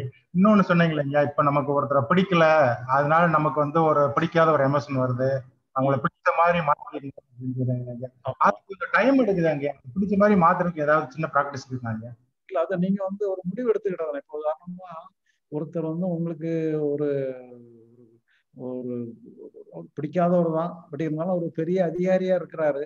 அதிகாரியா இருக்கிறதுனால எப்படியும் அவருக்கு நம்ம பயிற்சியிட முடியாதுன்னு சொல்லி எடுத்துக்கிடும் பொழுது ஆட்டோமேட்டிக்கா நீங்க வந்து அவர் உங்களுக்கு வேண்டியவருங்கிற மாதிரி ஒரு அணுகுமுறையில தானே அவர்கிட்ட போறீங்க. அவர் வேண்டாதவருங்கிற அணுகுமுறையில போனீங்கன்னு சொன்னா அவர்கிட்ட கோபம் தான் வரும் அவரை பார்த்து. அப்போ ஒரு அதிகாரி அவரை நம்ம பயிற்சியிடவே முடியாது. வேண்டியவராக தான் வச்சுக்கிடணும்னு சொல்லி நீங்களே ஒரு முடிவுக்கு வந்துடுறீங்க பாத்தீங்களா? முடிவுகள்ங்கிறதெல்லாம் நம்மளே ஒரு கற்பிதமா வச்சுக்கிறது தானே நான் மக மனசை பொறுத்த அளவுல முடிவுகள் எல்லாமே ஒரு கற்பிதம் தான். அந்த கற்பிதத்தை நீங்களே வச்சுக்கலாம். இயற்கையானதாகவும் இருக்கலாம். நீங்களே ஏற்படுத்திக்கிடவும் ஏற்படுத்திக்கலாம். அதனால நீங்க சிலதுகளை ஏற்படுத்திக்கிடுங்க ஏற்படுத்திட்டீங்கன்னு சொன்னா ஏன்னா செயல்பாடுகளுக்கு சில முடிவுகள் எடுத்தா தான் செயல்பட முடியும். இதெல்லாம் செயல் சம்பந்தப்பட்டது. எமோஷனை பொறுத்த அளவுல நீங்க சுதந்திரம் விட்டுருங்க அது என்ன இருந்தாலும் ஓகேன்னு விட்டீங்கன்னா அது தானாலே போயிடும் எந்த எமோஷனையும் நம்ம சரி பண்ணணும்னு அவசியம் நன்றிங்க. ஓகே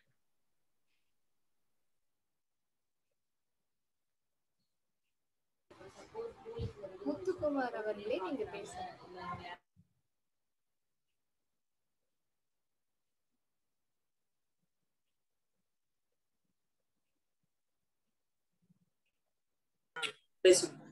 ஐயா வணக்கம் ஐயா. வணக்கம்.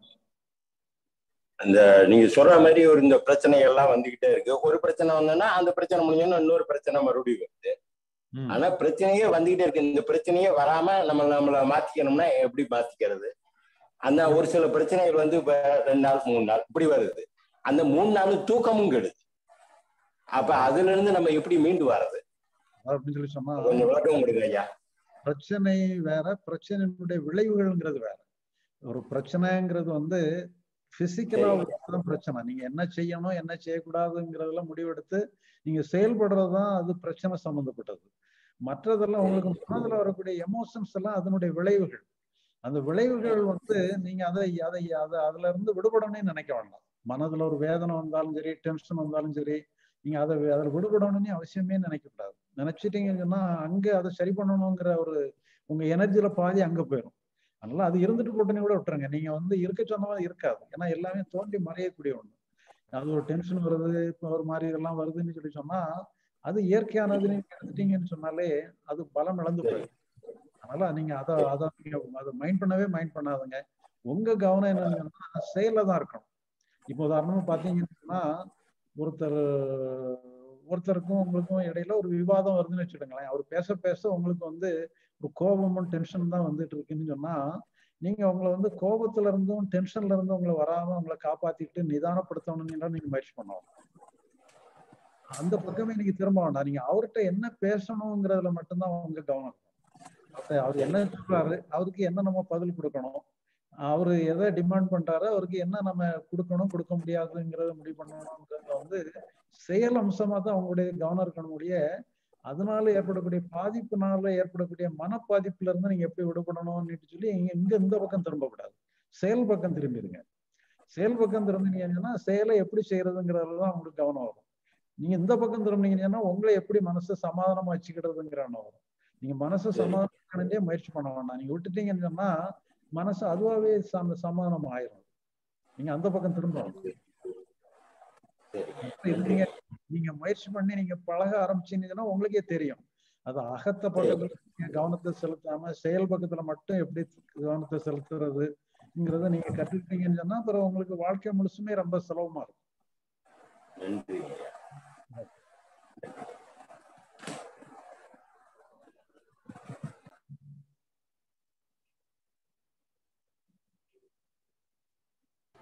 துரிதுலா அவர்களே நீங்க பேசலாம்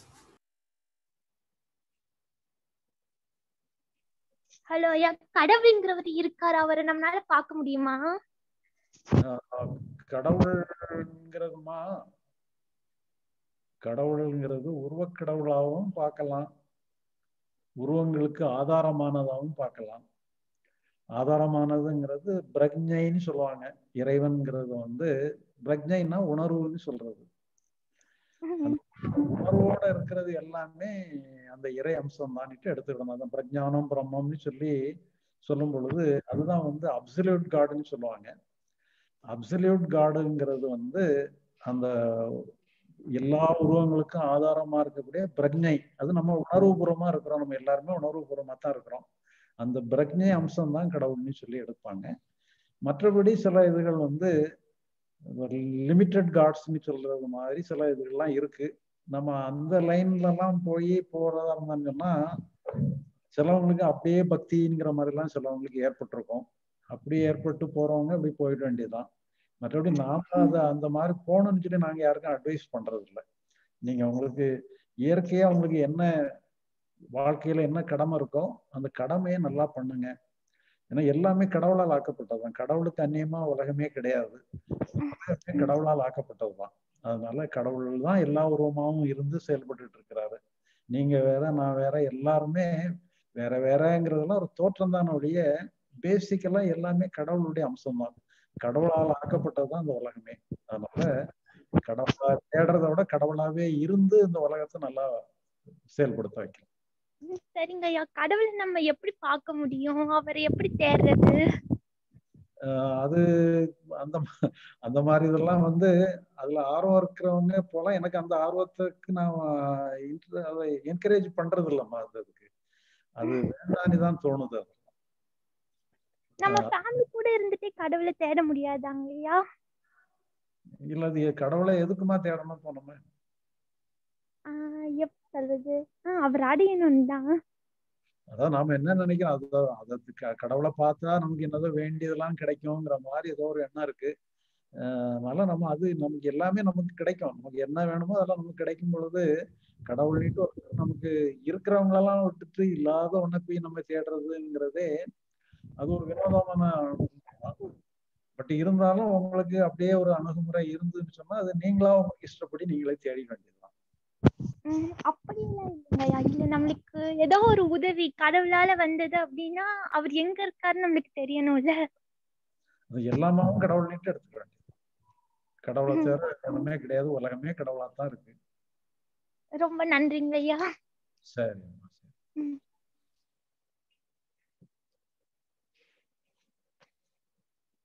பாலகணபதி அவர்களே நீங்க பேசுங்க. என்ன சொன்னாரு?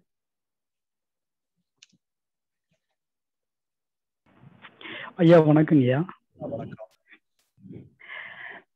ஐயா எமோஷன்ஸ் எல்லாம் வந்து ஆரோக்கியமானது தான் அப்படின்னு சொல்றீங்க.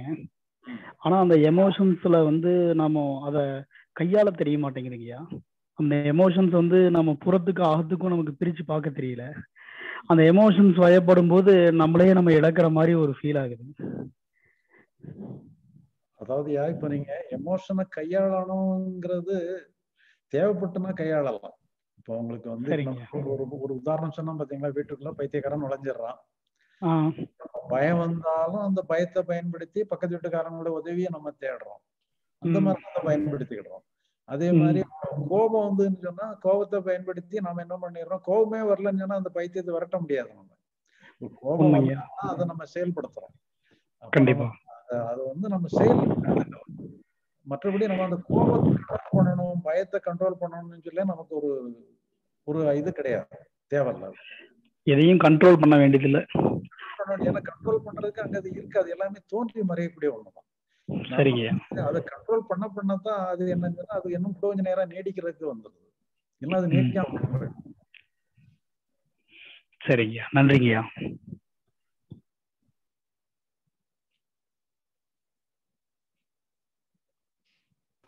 முருகன் அவர்களே நீங்க பேசலாம் வணக்கம் ஐயா. நான் ஊட்டியிலிருந்து பேசுறேன் ஐயா. நான் ஒரு வாத்தியாரு. நேர்மையாவும் சத்தியமாவும் வாழணும்னு வாழ்ந்துகிட்டு இருக்கேன். ஒரு ஒரு வீடு கட்டியிருக்கு மதுரையில. என் பக்கத்து வீட்டுக்காரன் என்ன பண்றான் ஒரு ரெண்டு அடிய அவனுக்கு தெரியும் என் இடம்னு தெரியும். தெரிஞ்சும் என்ன பண்றான் ஆஹ், அந்த இடத்த வச்சு ஆக்கு ஆக்கிரமிப்பு பண்ணி அவன் ஃபவுண்டேஷன் போடுறான். நான் ஊர்ல ஆளுகளை வச்சு இதெல்லாம் வச்சு பேசி பார்த்து அவங்களும் சொல்றாங்க. ஆனா கேட்கறாள் காரணம் என்னன்னா ஒரு குண்டாயிசம். ஒரு ஏழு எட்டு பேர் அண்ணன் தம்பியா இருக்கான். அதனால வந்து அவ வந்து த்ரெட்டன் பண்றான். ஒரு சைடு சரி போய் தொலைன்னு விட்டு வந்தாலும் இன்னொரு சைடு நம்மளுக்கு மனசுல போட்டு அது ஒரு மன உளைச்சலாவே இருக்கு. அதை வந்து நம்ம தடுத்துருவோமா? போலீஸ் போலாமா? அப்படின்னு. இல்ல நம்ம இங்க இருந்து போய் இதெல்லாம் செய்ய முடியுமா? அப்படிங்கறதும் வாயில இருக்கு.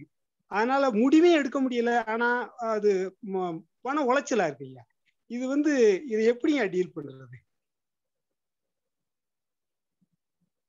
ஐயா கேக்குதாங்கய்யா? ஐயா? ஹலோ? கேக்குதாங்கய்யா? கேட்கலையோ ஆ? ஐயா கேக்கலையாங்கய்யா? நான் பேசுறது கேக்குதா? ஆ கேக்குதுங்கய்யா கேக்குதுங்கய்யா. ஐயா ஐயா நான் நீங்க பேசுறது கேட்டு ஆ, முருகன் அவர்களே ஒரே ஒரு நிமிஷம் லைன்ல இருங்க. ஐயா உங்களுக்கு கேக்குதுங்களா? கேக்குதாங்கய்யா? முருகன் ஹலோ? கேட்கலையே இப்ப இப்ப சொல்றேங்கய்யா. ஐயா நான் ஒரு வாத்தியாருங்கய்யா கேக்குதாங்கய்யா? ஹலோ? வெளியில போயிட்டு ஹலோ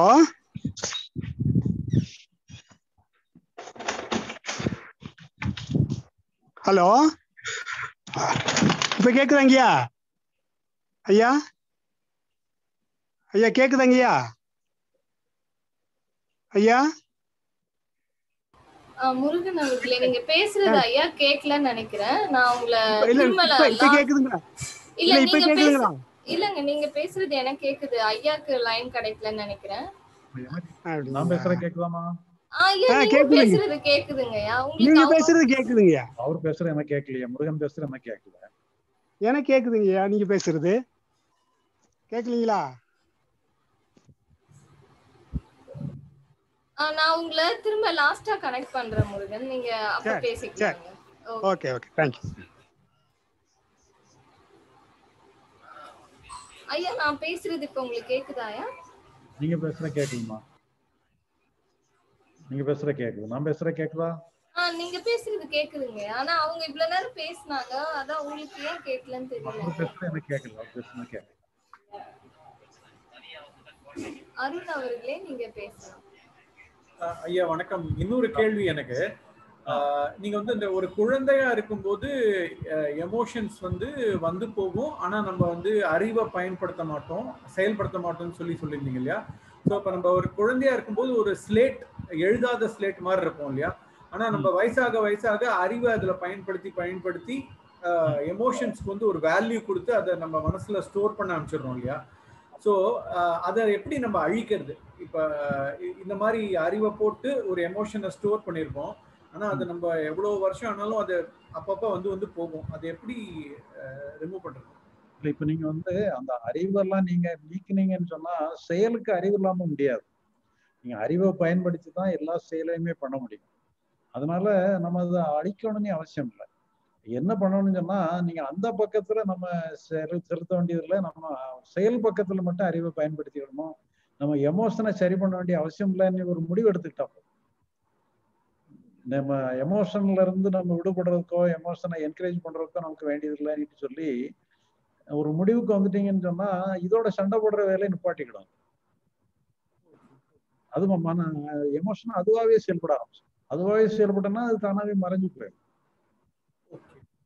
ஏன்னா நீங்க அது பிரவாகம்னு சொல்றீங்க இல்லையா? ஸோ அதை நம்ம எனர்ஜியா யூஸ் பண்ணலாம். இதை நம்ம அறிவை பயன்படுத்தலைன்னா. பிரவாகம் சொன்னாலும் என்ன சொன்னா தோன்றி மறையக்கூடியதுங்கிறதுனால பிரவாகம் சொல்றோம். இவன் ஒரு இடத்துல நிக்காது. அது. ஒரு இடத்துல தேங்கி இருக்காது. நம்ம எமோஷனை வந்து தேக்க முடியாது. அதனால அது ஒரு ரிவரை வந்து நீங்க தேக்கினீங்கன்னு சொன்னா அது ரிவர் கிடையாது. எப்போ தேங்குதோ அது ரிவர் இல்லை. அது தேங்காம ஓடிக்கிட்டே இருந்தாதான் ரிவர் அதே மாதிரி வந்து நம்ம எமோஷன்ஸ் வந்து ரிவர் மாதிரி தான் போயிட்டு இருக்கு.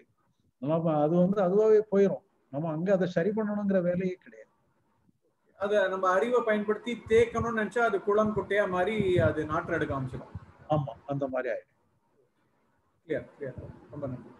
இது நீங்க வந்து செயல்படுத்தி பாருங்க. செயல்படுத்தி பார்த்தீங்கன்னா தான் அதனுடைய அது- அதனுடைய உண்மைத்தன்மை உங்களுக்கு ரியலா வழங்கும். ரொம்ப நன்றி.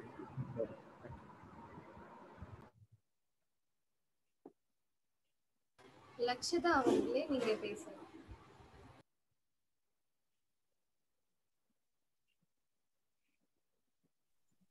ஐயா வணக்கங்க ஐயா. கேக்குதுங்களா ஐயா? கேக்குது நன்றிங்க ஐயா. ஆஹ் ஐயா என்னோட கேள்வி என்னன்னாங்க ஐயா இப்ப நீங்க சொன்ன மாதிரி கடவுள் தான் எல்லாத்தையும் படைச்சிருக்கார். கருணையே வடிவானவர் அன்பே சிவம் அப்படின்லாம் நம்ம சொல்றோம். இப்ப நம்ம ஒரு சிறந்த மியூசிக் டைரக்டர்னா இளையராஜாவை சொல்றோம் இல்ல ஏஆர் ரஹ்மான சொல்றோம். ஏன்னா அவங்க படைப்புகள் ரொம்ப சிறந்து விளங்குது. ஆனா கடவுள் படைப்புல மட்டும் ஏன் இவ்வளவு பிரச்சனை? அப்படின்னா இதுல நி- நம்ம தான் அந்த பிரச்சனையை உருவாக்கிக்கிறோம்னா இப்போ ஒரு கார் கம்பெனில ஒரு டிஃபெக்டான ப்ராடக்ட் டெவலப் பண்ணிட்டாங்கன்னா அதை அவங்க கியூசில எடுத்து வச்சிருவாங்க. பட் மனிதர்களை கிரியேட் பண்ணும்போதோ இல்ல பிரபஞ்சத்தை கிரியேட் பண்ணும்போதோ ஏன் டிஃபெக்டான ப்ராடக்ட் நிறைய பட- படைச்சு அதுல இவ்வளவு பிரச்சனைகளை கொடுத்து இதுக்கு படைக்காம ஒரு பாட்டு கம்முன்னு இருக்கலாமே. கடவுளோட பிரச்சனை தான் நம்ம பிரச்சனையா? இல்ல அவர் பொழுது போகாம நம்மளை எல்லாம் படைச்சு விட்டுறாரா இல்ல அதாவது இப்போ நம்ம சாஸ்திரங்கள் எல்லாம் பாத்தீங்கன்னு சொன்னா எல்லாமே கடவுள்னிட்டு சொல்லும் பொழுது நாமளே கடவுள் அம்சம் தானே? கடவுளே தான் தனித்தனாவே பலவாக ஆக்கிக்கிறாருங்கிற மாதிரி இன்னொருத்தரை படைக்கிறது இல்லை தனக்கு அந்நியமா யாரையோ படைக்கிறது இல்லை தானே பலவா மாறிடுறாருங்கிற மாதிரி தான். அதனால எல்லாமே கடவுளுடைய அம்சம் தான். யாரோ த கடவுள் வந்து ஒருத்தரா இருந்துகிட்டு மற்றவங்களெல்லாம் தனித்தனியா கிரியேட் பண்ணி வேலைக்காரங்களாவோ மற்ற ஒரு ப்ராடக்ட்ஸாவோ உற்பத்தி பண்றாருங்கிற மாதிரி இல்லாதபடி அவரே பலவாக மாறிக்கிடுறாருங்கிற மாதிரி. அதனால எல்லாருமே கடவுள் தான். கடவுள் அதுல அப்ப குறைபாடுகள் வந்துருது இல்லைங்க ஐயா? அதை நம்ம இருக்க முடியறது இல்லை இல்லைங்க ஐயா? இல்ல அது அது அப்படி இருக்கத்தான் செய்யுது. பட் இருந்தாலும் என்னங்கன்னா நம்ம அறிவுபூர்வமா நமக்கு தெரிஞ்சது அளவுக்கு நாம அதெல்லாம் முன்னேறி இல்ல இது தனியா தான் அது ஒவ்வொருத்தரும் தனித்தனியா தான் நம்ம அதை டெவலப் பண்ணிக்கணுமாங்க ஐயா? இது வந்து ஏன் இந்த படைத்தலை நிறுத்திட்டு திருப்பி எல்லாமே இறைவனை உணர்ந்து இறைவனா மட்டுமே இருக்கணும்? எனக்கு வந்து ஒரு என்னாவோ இல்ல நீங்களாவோ இல்ல ஒரு காராவோ பைக்காவோ ஏன் கிரியேட் ஆகணும்? நான் இறைவன் இறைவனாவே இருந்துட்டு போறேன். எனக்கு படைப்பு தொழிலே வேண்டான்னு ஏன் கட்- அது அந்த முயற்சிக்கு போக மாட்டேங்கிறோம் நம்ம? இல்ல ஒரு ரமணர் போயிட்டாருன்னா ஒவ்வொருத்தரா தான் சொட்டு சொட்டா வடிகட்டி வடிகட்டி அனுப்புறாங்களே? அதாவது பாத்தீங்கன்னு சொன்னா இப்போ பிரச்சனையே வந்து எப்ப ஆரம்பிக்குன்னு சொன்னா நீங்க அஞ்சு வயசு வரைக்கும் உங்களுக்கு இந்த பிரச்சனை கிடையாது பாத்தீங்களா? அஞ்சு வயசுக்கு பிறகுதான் இந்த பிரச்சனை எல்லாம் வருது. ஆமாங்க அதனால இப்ப நம்ம இன்னோசென்ட்டா இருந்தான்னு சொன்னா நீங்க எப்போ வேணாலும் நீங்க நல்ல நிலையில இருக்கலாம். பட் இருந்தாலும் நம்ம அறிவுபூர்வமா அதை எடுக்கும் பொழுது இந்த மாதிரி கால்குலேஷன்ஸ் எல்லாம் வந்துருது. இது உயர்வு இது தாழ்வுங்கிற மாதிரி எல்லாம் வந்துருது. பட் இருந்தாலும் என்னன்னு சொல்லி சொன்னா இப்ப நம்ம வந்து அறிவை பயன்படுத்தி செய்ய வேண்டிய வேலைகளை நம்ம தான் செஞ்சாகணும். பட் இருந்தாலும் நீங்க வந்து மனசளவுல எல்லாம் ஓகே கொடுக்கறதுக்கும் கற்றுக்கிட்டீங்கன்னு சொன்னா செய்ய வேண்டிய செயல்ங்கிறது ஒரு செயல்ங்கிற மாதிரி. அதுல உயர்ந்தது தாழ்ந்தது இழிந்தது நல்லதுங்கிற மாதிரி எல்லாம் இல்லாதபடி செய்ய வேண்டிய செயல்ங்கிற கேடருக்கு வந்துருது. அதுல உயர்வு தாழ்வு நல்லது கெட்டதுங்கிறதெல்லாம் வராது. அதாங்க ஐயா, நான் ஒரு பதின நீங்க சொல்ற அஞ்சு வயசுங்கிறது எனக்கு ஒரு பதினஞ்சு வயசு வரைக்கும் எக்ஸ்டெண்ட் ஆச்சுங்க ஐயா. ஏன்னா ஓரளவுக்கு சௌரியமான குடும்பத்துல பிறந்துட்டா பெருசா சூதுவாது பண்ணணுங்கிற ஒரு தேவை ஏற்படல. ஆனா நம்மளை நோக்கி பல சூதுவாதுகள் பண்ணி நம்ம நிலை மாறும்போது அந்த சிரமத்துல இருக்கும்போது அறிவை பயன்படுத்த வேண்டிய பொசிஷனுக்கு ஒரு யதார்த்தமா ஒரு நல்லவனா இருந்தா சமுதாயத்துக்குள்ள வாழ்றதுக்கு ரொம்ப சிரமமான ஒரு சூழ்நிலை ஏற்படனால அறிவை பயன்படுத்த வேண்டிய ஒரு சூழ்நிலை ஏற்படுத்துறோம். அப்ப நல்லது கெட்டது நம்மளே கடவுளா இருந்தா நன்மைன்னு ஒண்ணு கிடையாது தீமைன்னு ஒண்ணு கிடையாது.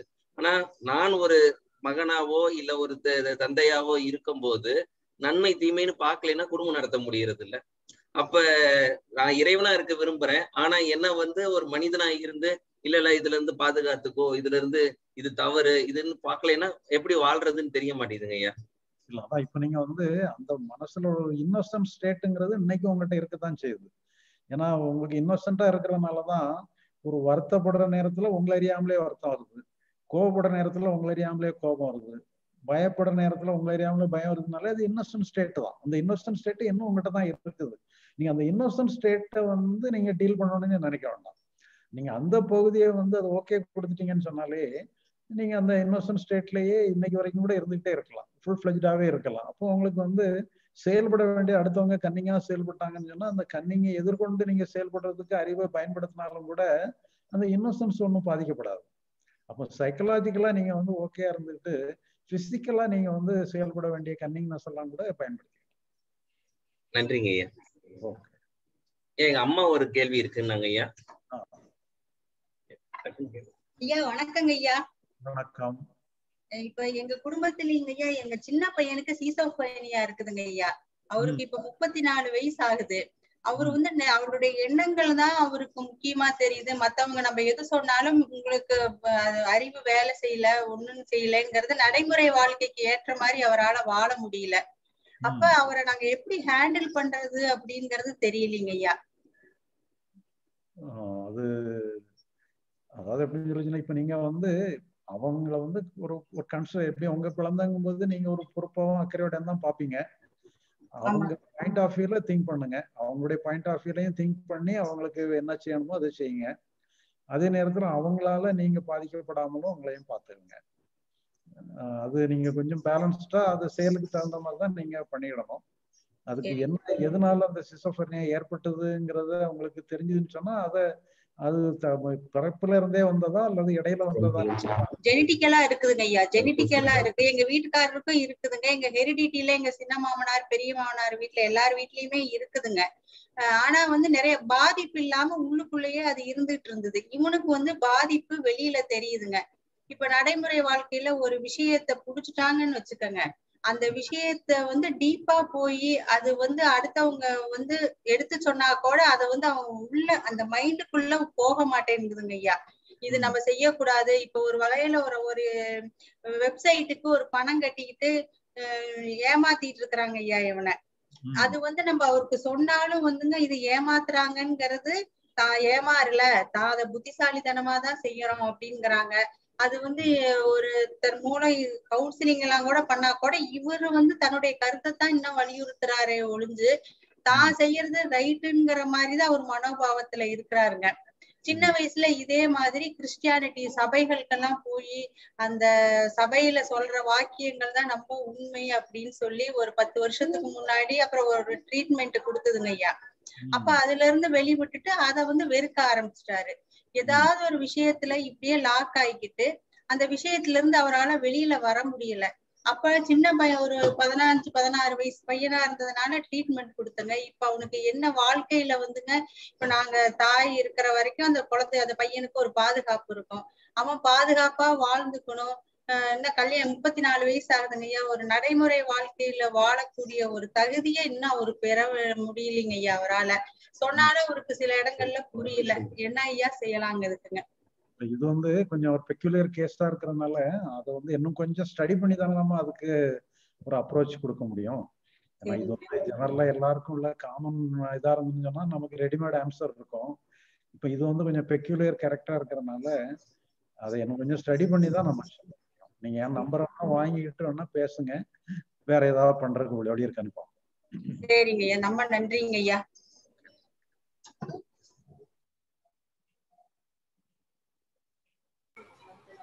முருகன் அவர்களே நீங்க பேசலாம்.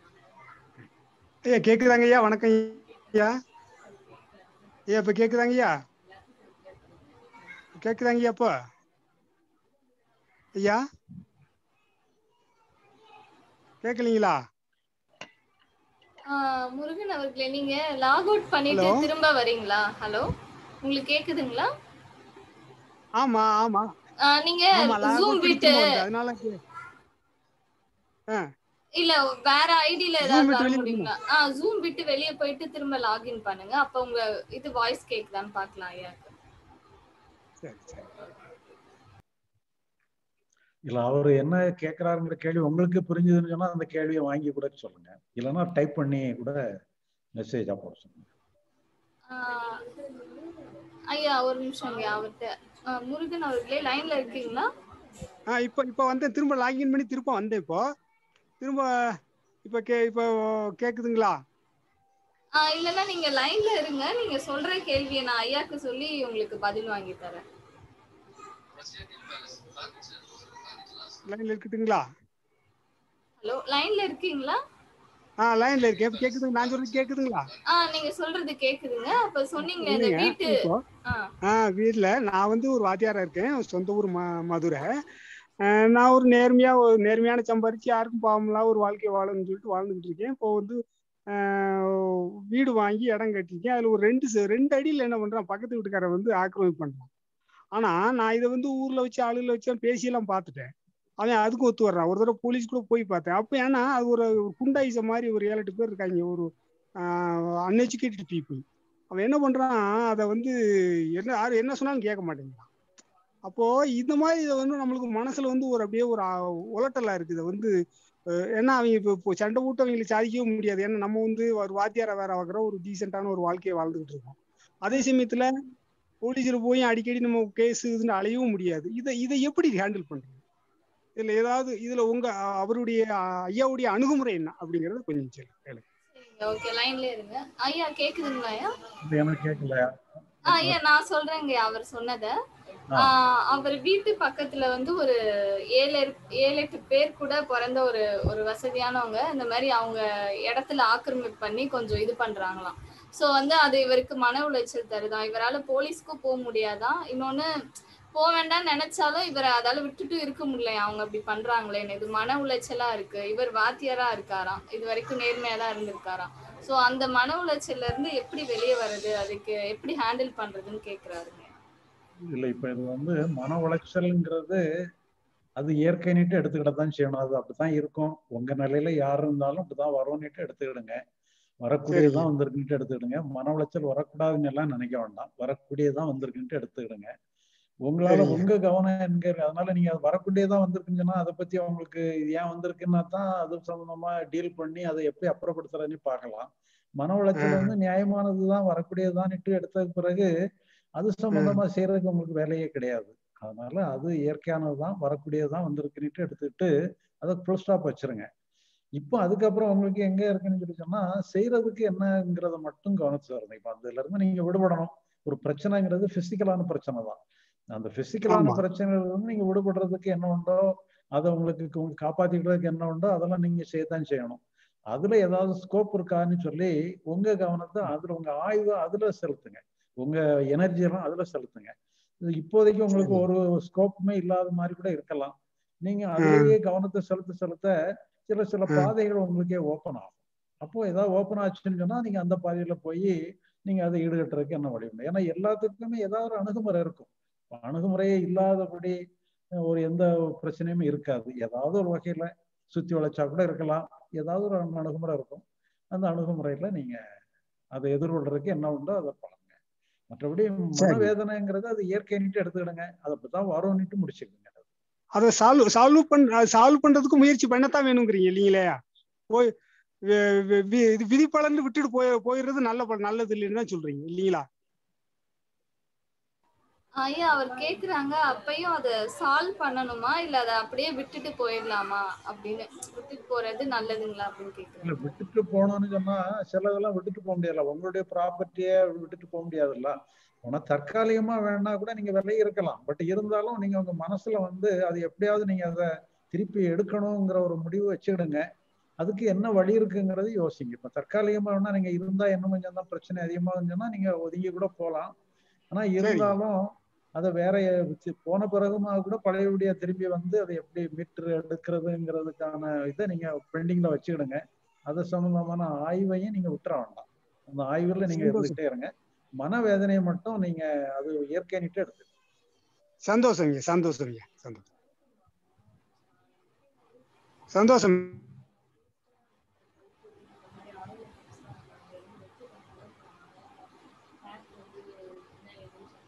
லினோவா கே சிக்ஸ் நோட் அவர்களே நீங்க பேசுங்க. வணக்கம் ஐயா. என்னோட என்னோட கேள்வி என்னன்னா நமக்கு இப்போ இப்போ நம்ம நீங்க பேசுறீங்க நாங்களும் கவனிக்கிறோம் இப்போ மனநிலை வந்து அமைதியா இருக்கு. அந்த எமோஷன்ஸை புரிஞ்சுக்க முடியுது. அதை கட்டுப்பா அதாவது அது அதுக்கு முக்கியத்துவம் கொடுக்காம சிந்தனைக்கு தான் முக்கியத்துவம் கொடுக்கணும். செயலுக்கு தான் முக்கியத்துவம் கொடுக்கணும். ஆனா அந்த சுச்சுவேஷன் மாறும்போது நம்ம கோவம் படுற அந்த சூழ்நிலையில சுத்தி நடக்கிறது எல்லாத்தையும் பார்த்து கோவம் வர அந்த நேரத்துல நம்மளால அப்போ நமக்கு எமோஷன் அப்படியே பீறிட்டு வரும்போது அந்த இடத்துல நம்மளால கத்தாமலையோ அமைதியாவோ இருக்க முடியல. அப்போ நம்ம வந்து நம்ம ஆக்ஷன்ல தான் நம்ம கவனம் இருக்கணும் அப்படின்னு பார்த்தா இன்னும் தான் அந்த அழுத்தம் எமோஷனுக்கு அதிகமாகுது. இது எனக்கு புரியலங்கய்யா நீங்க சொன்னது. இல்ல அதாவது சில நேரங்கள்ல நம்மளை மீறி செயல் கூட வந்துடலாம் இப்ப நீங்க வந்து ஒருத்தர் மேல கோபம் வந்து திட்டிட கூட செய்யலாம். பிறகு முடிஞ்ச பிறகு கூட திட்டிட்டாமே கூட வருத்தப்படலாம். ஆனா என்னன்னு சொல்லி சொன்னா முடிஞ்சதெல்லாம் முடிஞ்சதாக எடுத்துக்கிடுங்க. எடுத்துக்கிட்டு முடிஞ்சதுக்கு பிறகு கூட நீங்க கொஞ்சம் நிதானமா அடுத்த கொஞ்சம் நிதானமா இருந்திருக்கலாமேங்கிற மாதிரி அதை எப்படி அணுகிறதுங்கிற மாதிரி நம்ம இது பண்ணிருக்கலாம். ஏன்னா எல்லாத்துலயுமே வந்து கோபம் அத்தனையுமே செயலா மாறாது. கோபத்துக்கு அப்புறமும் செயலு கோபத்துக்கும் செயலுக்கும் இடையில ஒரு கேப் இருக்கு. அந்த கேப்ல நீங்க வந்து கொஞ்சம் நிதானமா கையாளணுங்கிற ஒரு முடிவோட நம்ம செயல்படணும். அந்த நிதானமா கையாளணுங்கிற முடிவோட செயல்படும் பொழுது கோபத்தை நல்லபடியில நம்ம ஹேண்டில் பண்ணிக்கலாம். எப்படி ஹேண்டில் பண்ணணும்னு பண்ணிக்கிட்டீங்கன்னா ஒரு தடவை உங்களை மீறி கூட தப்பு நடந்திருக்கலாம். அது அதனால நீங்க கில்ட்டியா ஃபீல் பண்ண வேண்டாம். சரி அவசரத்துல தப்பு பண்ணிட்டோம். நம்ம அடுத்த தடவை கொஞ்சம் எச்சரிக்கையா நடந்துக்கிடுவோம்னு சொல்லி நீங்க அந்த கோபத்துக்கும் அதை எக்ஸ்பிரஸ் பண்றதுக்கும் இடையில உள்ள இடைவெளியை கொஞ்சம் பயன்படுத்திக்கிடுங்க நன்றிங்க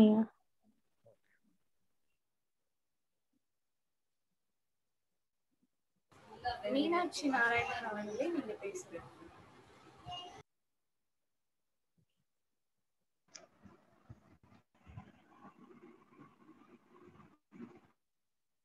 வணக்கம் ஐயா.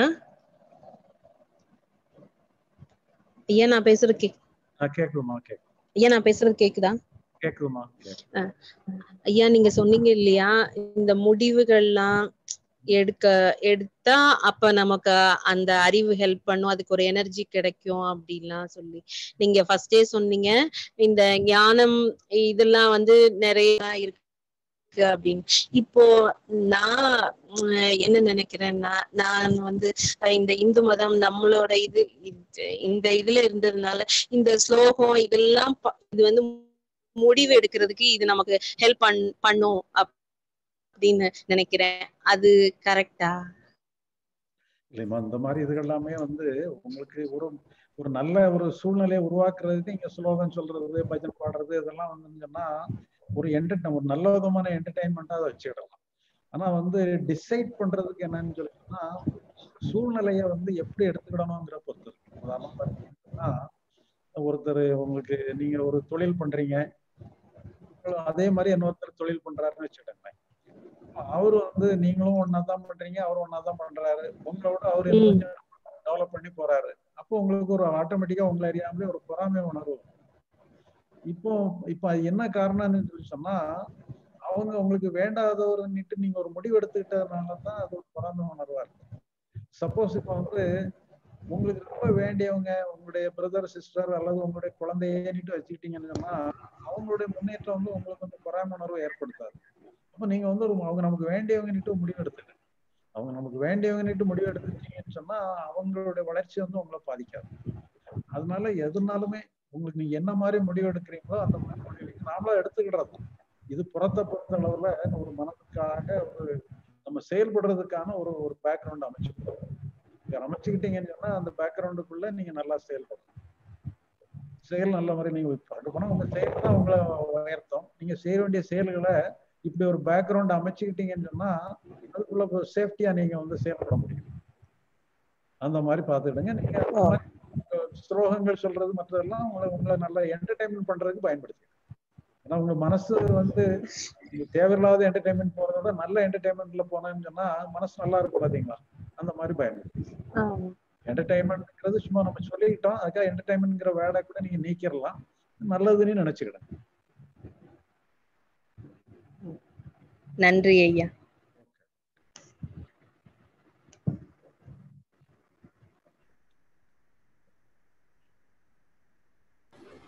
வீரசேகர் பாலசுப்ரமணியன் அவர்களே நீங்க பேசுங்க.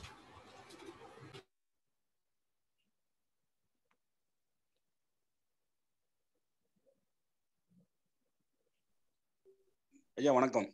வணக்கம். நான் சென்னையில இருந்து பேசுறேன் இப்ப இந்த ஒரு வருஷமா வந்து இப்ப எல்லாருமே ஒர்க் ஃப்ரம் ஹோம் பண்றோம். வெளியில பெரிய கான்டாக்ட்ல மக்களோட இப்ப ஆபீஸ் எல்லாம் போனோம்னா ஒரு நிறைய பேரை பார்ப்போம் பேசுவோம். ஒரு மாதிரி இப்ப வந்து இந்த பேண்டமிக் சுச்சுவேஷனால யாருமே பார்க்க முடியல. வீட்ல இருந்தே ஒர்க் பண்ணிட்டு இருக்கோம். அதனால பயங்கர ஸ்ட்ரெஸ்ஸா இருக்கு. இப்ப நம்ம என்ன ஆகுதுன்னா ஒரு கடந்த ஒரு ஆறு மாதம் மூணு மாதம் அந்த இந்த ரேஞ்ச் எல்லாம் ஏதோ ஒரு சம்பந்தமில்லாத விஷயத்த யோசிக்கிறோம். ஏதோ ஒரு பத்து வருஷமா பதினஞ்சு வருஷத்துக்கு முன்பு ஒரு சின்ன சண்டை நடந்திருக்கலாம். அந்த சண்டை நினைப்பு வந்து அவனை ஒரு வாரமா திட்டிட்டு இருக்கோம். அப்புறம் மறுபடியும் வேற எதையாவது ஒரு ஸ்ட்ரெஸ் ஆகுது. இந்த மாதிரி கண்டினியூஸா மைண்டு மாறிக்கிட்டே இருக்குது. ரொம்ப ஸ்ட்ரெஸ் டிப்ரெஷன் அந்த மாதிரி இருக்கு. இதுக்கெல்லாம் என்ன பண்ணணும் ஆக்சுவலா நானே என்னென்னவோ தியானம் எல்லாம் பண்ணி பாக்குறேன் என்னால அதுல இருந்து வெளியில வர முடியல. ஏதோ சம்மந்தம் இல்லாம அது ஆக்சுவலா அது தப்பு. அப்படி பண்ணக்கூடாது. அந்த டயத்துல எப்ப இன்சிடென்ட் நடந்ததோ அப்பயே அதை நம்ம ரொம்ப ஜென்டலா ஹேண்டில் பண்ணிருப்போம் பட் இப்ப அது நினப்பு வந்து ஏன் அவனை விட்டோம் அவனை நம்ம அடிச்சிருக்கலாமே? அந்த மாதிரி எல்லாம் தோணாது. அது தப்புன்னு எனக்கு தோணுது. பட் ஆனா அது- அதுல இருந்து என்னால வெளியில வர முடியல. அது அந்த மாதிரியே சிந்தனைகள் நிறைய போயிட்டு இருக்கு அதை எப்படி ரெக்கவர் ஆகுறது அது இப்ப நீங்க வந்து அவரை வேண்டாதவர்னுட்டு ஒரு முத்திரை குத்துறீங்க பாத்தீங்களா? ம். வேண்டாதவங்கிற முத்திரையை வந்து வேண்டியவருங்கிற முத்திரையா மாத்திக்கிடுங்க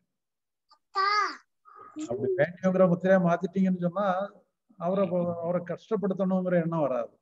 அவருக்கு என்ன மாதிரி உதவி பண்ணலாங்கிற எண்ணம் தான் வரும்? இல்ல இல்ல அதான் அது இப்ப நடந்தது இப்ப நம்ம அடிக்கடி பாக்குற ஆளுங்களும் கிடையாது. அது எப்பயோ நடந்த ஒரு இன்சிடென்ட் அதுக்கப்புறம் கூட நம்ம அவங்கள்ட்ட பேசியிருக்கலாம். பட் அந்த ஒரு பர்டிகுலர் இன்சிடென்ட் மட்டும் நினப்புலயே இருக்கு. அதை பத்தியே நம்ம யோசிக்கிறோமே அது அது என்ன தப்பா ரைட்டானே எனக்கு புரியல. மொத்தத்துல ஜெனரலா எப்பவுமே முடிஞ்சதெல்லாம் முடிஞ்சதுன்னுட்டு எடுத்துக்கிடணும். முடிஞ்சதுக்கு வந்து வேல்யூவே கொடுக்க கூடாது முடிஞ்சதெல்லாம் முடிஞ்சதா எடுத்துக்கிடணும். எடுத்துட்டானாலே அதோட சேர்ந்து எல்லாமே முடிஞ்சு போயிடும் நம்ம செய்யறதுக்கு என்ன பண்ணணுங்கிறதுல மட்டும்தான் நீங்க கவனம் அதிகமா செலுத்தணும். முடிஞ்சு போனதெல்லாம் முடிஞ்சு போச்சு. செய்ய வேண்டியது என்ன? இன்னிட்டு சொல்லும் பொழுது செய்ய வேண்டியது என்னன்னு சொல்லும் பொழுது அவங்க நமக்கு அது நமக்கு வந்து மோசமா பண்ணினவரை கூட இருக்கலாம். பட் இருந்தாலும் நாம அவருக்கு நல்லதுதான் பண்ணணும்னு முடிவு எடுத்துக்கிடுங்க. அவர் நமக்கு வேண்டியவர் தான். நாம நல்லது பண்ணா அவர் அவரும் நல்லவரா மாறிக்கிடுவாருங்கிற மாதிரி ஒரு முடிவுக்கு எடுத்துக்கிடுங்க. எடுத்துக்கிட்டீங்கன்னு சொன்னா தான் தேவையில்லாத எமோஷன்ஸ் வராது உங்களுக்கு. சரிங்க நன்றிங்க.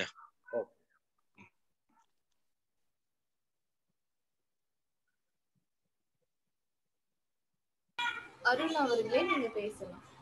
ஆஹ் ஐயா வணக்கம்.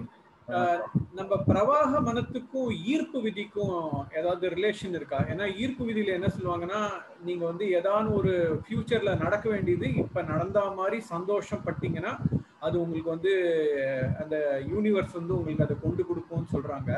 ஸோ அதனால தான் நீங்க பிரவாக மனத்துக்கு வந்து எனர்ஜி இருக்குன்னு சொன்னீங்களா? இது கொஞ்சம் கிளாரிஃபை பண்ணுங்க. வந்து மனதுல வரக்கூடிய உணர்ச்சிகளை தான் நம்ம பிரவாகத்தோட இணைக்கிறோம். அது தோன்றுனதெல்லாம் மறைஞ்சு போயிருதுங்கிறதுனால எல்லாமே புதுசு புதுசா வந்துகிட்டு இருக்கு. பழசை நம்ம பார்க்கவே முடியாதுங்கும் பொழுது புத்தம் புதுசா இருந்துகிட்டே இருக்கிறதுனால அது பிரவாகம்னு பெயர் கொடுக்குறோம். மற்றபடி நம்ம வந்து இப்போ நீங்க ஈர்ப்பு விதிகள் எல்லாம் என்னன்னா நீங்க செயலுக்காக உள்ளது. அதெல்லாம் புற வேலைகளுக்காக உள்ளது. புற வேலைகளுக்காக உள்ளதுல கூட நீங்க வெற்றி பெறுவோம்னு நினைக்கிறது கூட ஒரு எமோஷனை கொடுக்கும். அதோ அது வேணா அதையே நினைச்சுக்கிட்டே வந்தீங்கன்னு சொன்னா அது ஒரு வகையான இதோட நீங்க என்ன பண்றதுன்னு சொல்லி சொன்னா அது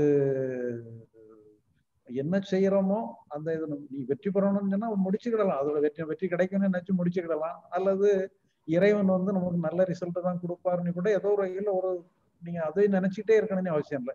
இன்னும் ஈர்ப்பு விதின்னு சொல்லும் பொழுது திருப்பி திருப்பி அதையே நினைச்சிட்டே இருக்கணுங்கிற ஒரு இது வருது. இது அப்படி கிடையாது. நீங்க ஒரு என்னன்னா ஒரு தடவை நீங்க ஒரு முடிவுக்கு வந்துட்டீங்கன்னு சொன்னா இறைவன் நமக்கு நல்லதை கொடுப்பாரு. நல்லது நம்ம நல்லது நினைக்கிறோம். நல்லதுதான் நடக்கும். அப்படின்னு சொல்லி எதையோ ஒன்று சொல்லி நீங்க ஒரு முடிவுக்கு வந்துடணும். திருப்பி திருப்பி அதை நினைக்க வேண்டிய அவசியமே இல்லை. முடிச்சுக்கிட்டு அதுக்கப்புறம் உங்க கவனம் எங்க இருக்கணும்னு சொன்னா அது எப்படி செயல்படுத்தணுங்கிறதுல தான் வரும். ஏன்னா முடிவு தான் உங்களுக்கு நீங்க முடிச்சுக்கிட்டீங்களே. நல்லா தான் வரும். இறைவன் நம்மளை காப்பாத்திக்கிடுவாருங்கிற மாதிரி முடிச்சுக்கிடும் பொழுது பழையபடி அதுல நீங்க டவுட் பண்ணணும்னு அவசியம் இல்லை.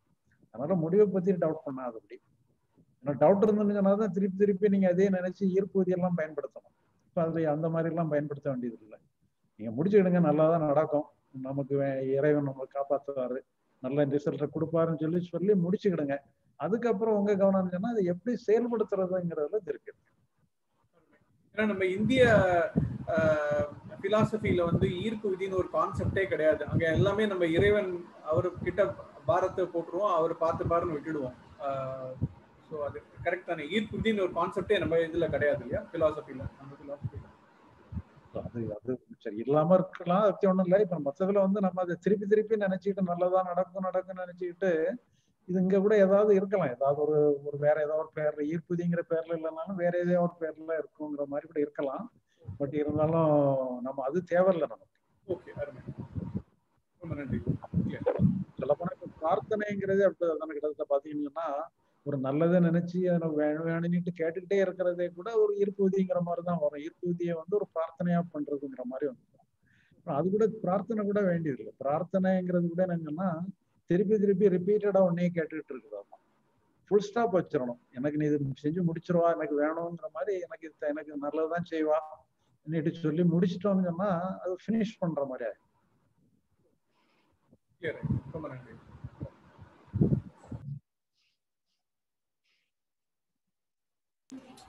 முத்து அவர்களே நீங்க பேசுங்க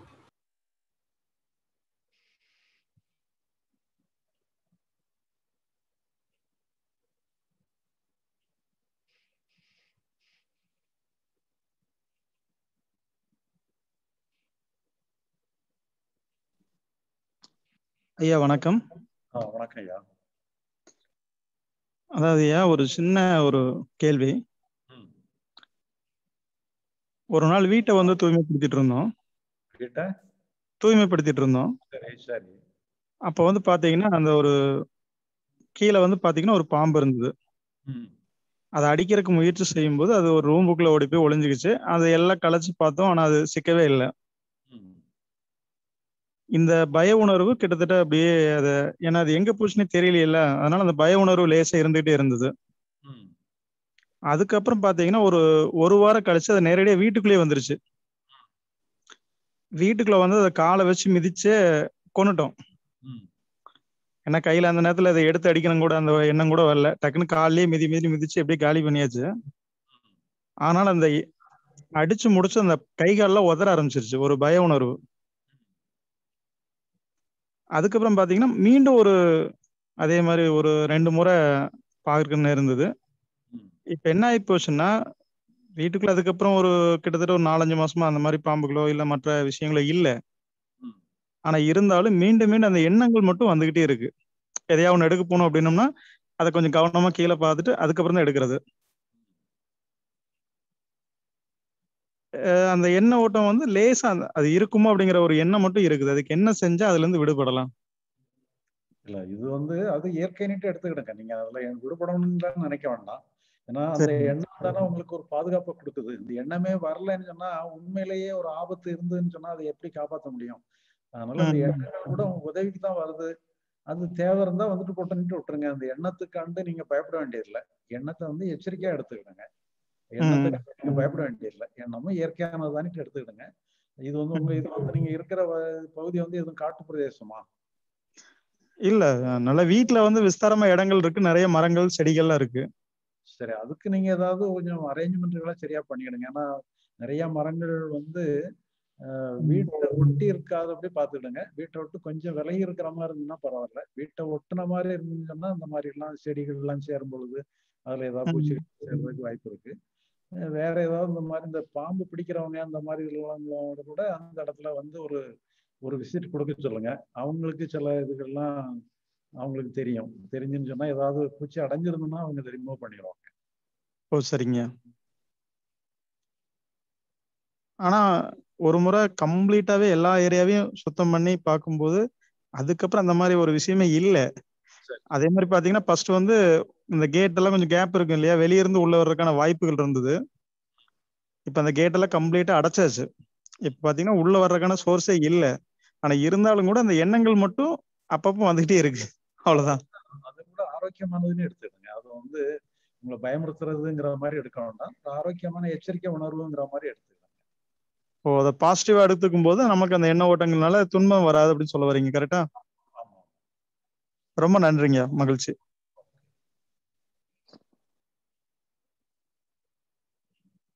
சுஜீவன் அவர்களே நீங்க பேசுங்க.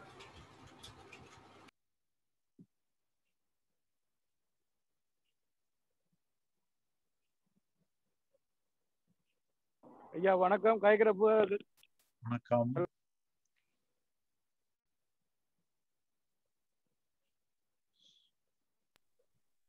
ஹலோ? ஆ சொல்லுங்க ஐயா. நீங்க சொல்றது கேக்குதுயா சொல்லுங்க. ஆ ஓகே. நன்றி ஐயா. என்னண்டா நான் ஒரு கேள்வியே காடிச்சு நான். ஏன் அந்த மனம் சம்பந்தப்பட்டு இப்ப நான் வந்து வேலை செய்யற ஒரு வந்து என்னன்னு சொல்ற டெலிவரி வேலை. அந்த வண்டியில வந்து ஸ்கூட்டர் டெலிவரி பண்ணுவோம்ல அந்த வேலை செய்யணும் ஆனால் ஆனா நாங்க காலம் ஒழுங்கினோடனே எங்களை அந்த வேலையை போக விடாமல் இந்த சமூக வலைத்தளங்கள் என்று வந்து அந்த ஒழுங்கினோடனே மனம் வந்து தேடுது.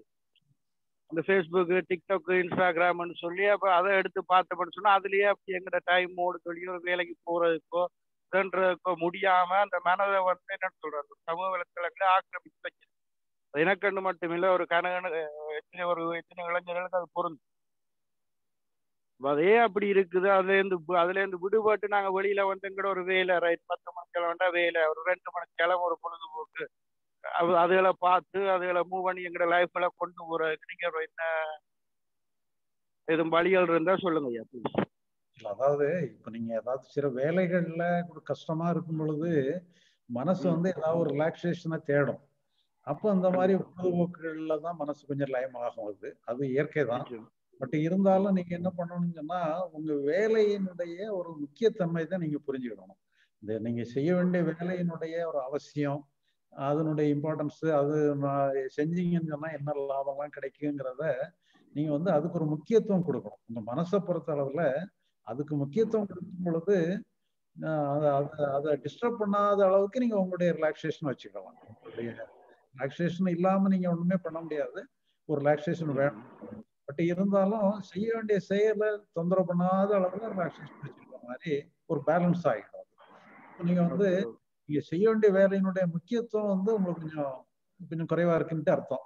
அது இன்னும் கொஞ்சம் முக்கியத்துவம் கூட்டிடுங்க அது சம்மந்தப்பட்ட ஒரு இமேஜ் நீங்க அதை பத்தி ஒரு கற்பனை வச்சிருப்பீங்க இல்லையா? அந்த கற்பனையை கொஞ்சம் இன்னும் கொஞ்சம் நெ- நெ- நிலை கொஞ்சம் நெறிப்படுத்திக்கங்க. ஒரு முக்கியமான வேலையில இருக்கிறோம். அந்த வேலையை தான் நமக்கு வந்து நமக்கு சோறுபட வேண்டிய ஒரு வேலை அது. நம்மளையும் நம்ம குடும்பத்தையும் காப்பாற்ற வேண்டிய வேலை அது அதனாலதான் அதுக்கு வந்து ஏன்னா எப்பவுமே இன்பங்கள் வந்து நம்மளை அட்ராக்ட் பண்ணும். இதெல்லாம் வேலைகள் வந்து நம்ம எப்பவுமே கொஞ்சம் ஓய்வுக்கு அனுப்புறதுக்கு தான் பார்க்கும். அதனால அது கஷ்டம்தான். வேலைகள் வந்து எப்பவுமே கஷ்டமா தான் இருக்கும்.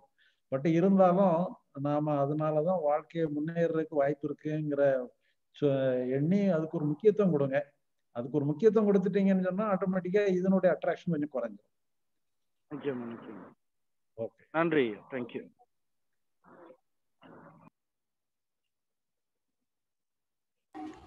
அலமேலு அண்ணாமலை அவர்களே நீங்க பேசுங்க.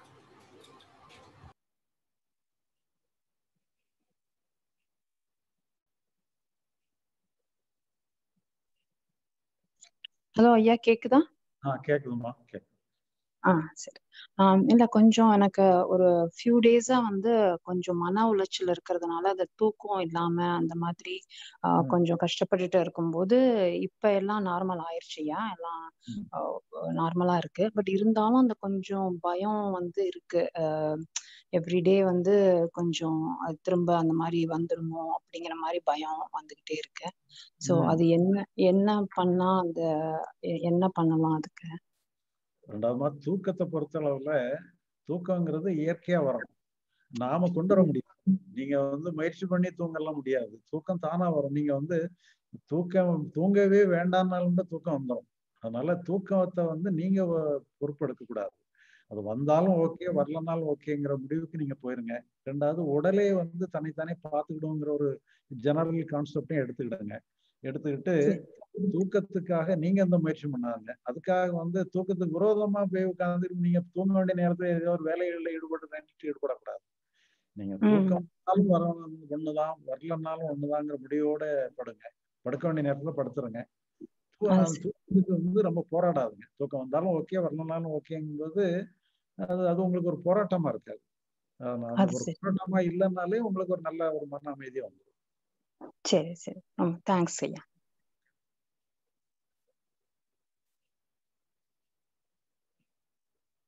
சுஜாதா அவர்களே நீங்க பேசுங்க.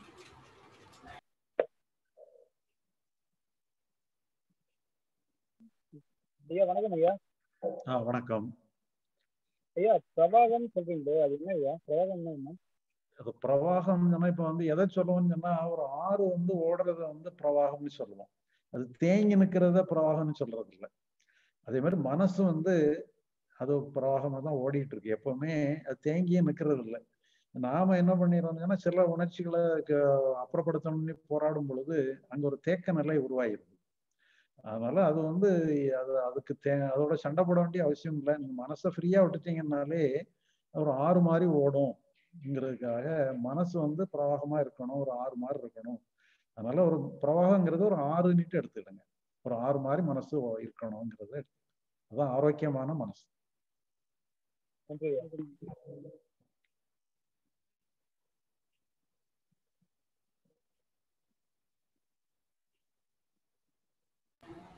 ஐயா நம்ம நிறைவு ஆ சரிம்மா ஓகேம்மா நன்றிங்க ஐயா. நல்லா இருந்தது. நன்றி. அனைவருக்கும் நான் வணக்கம்.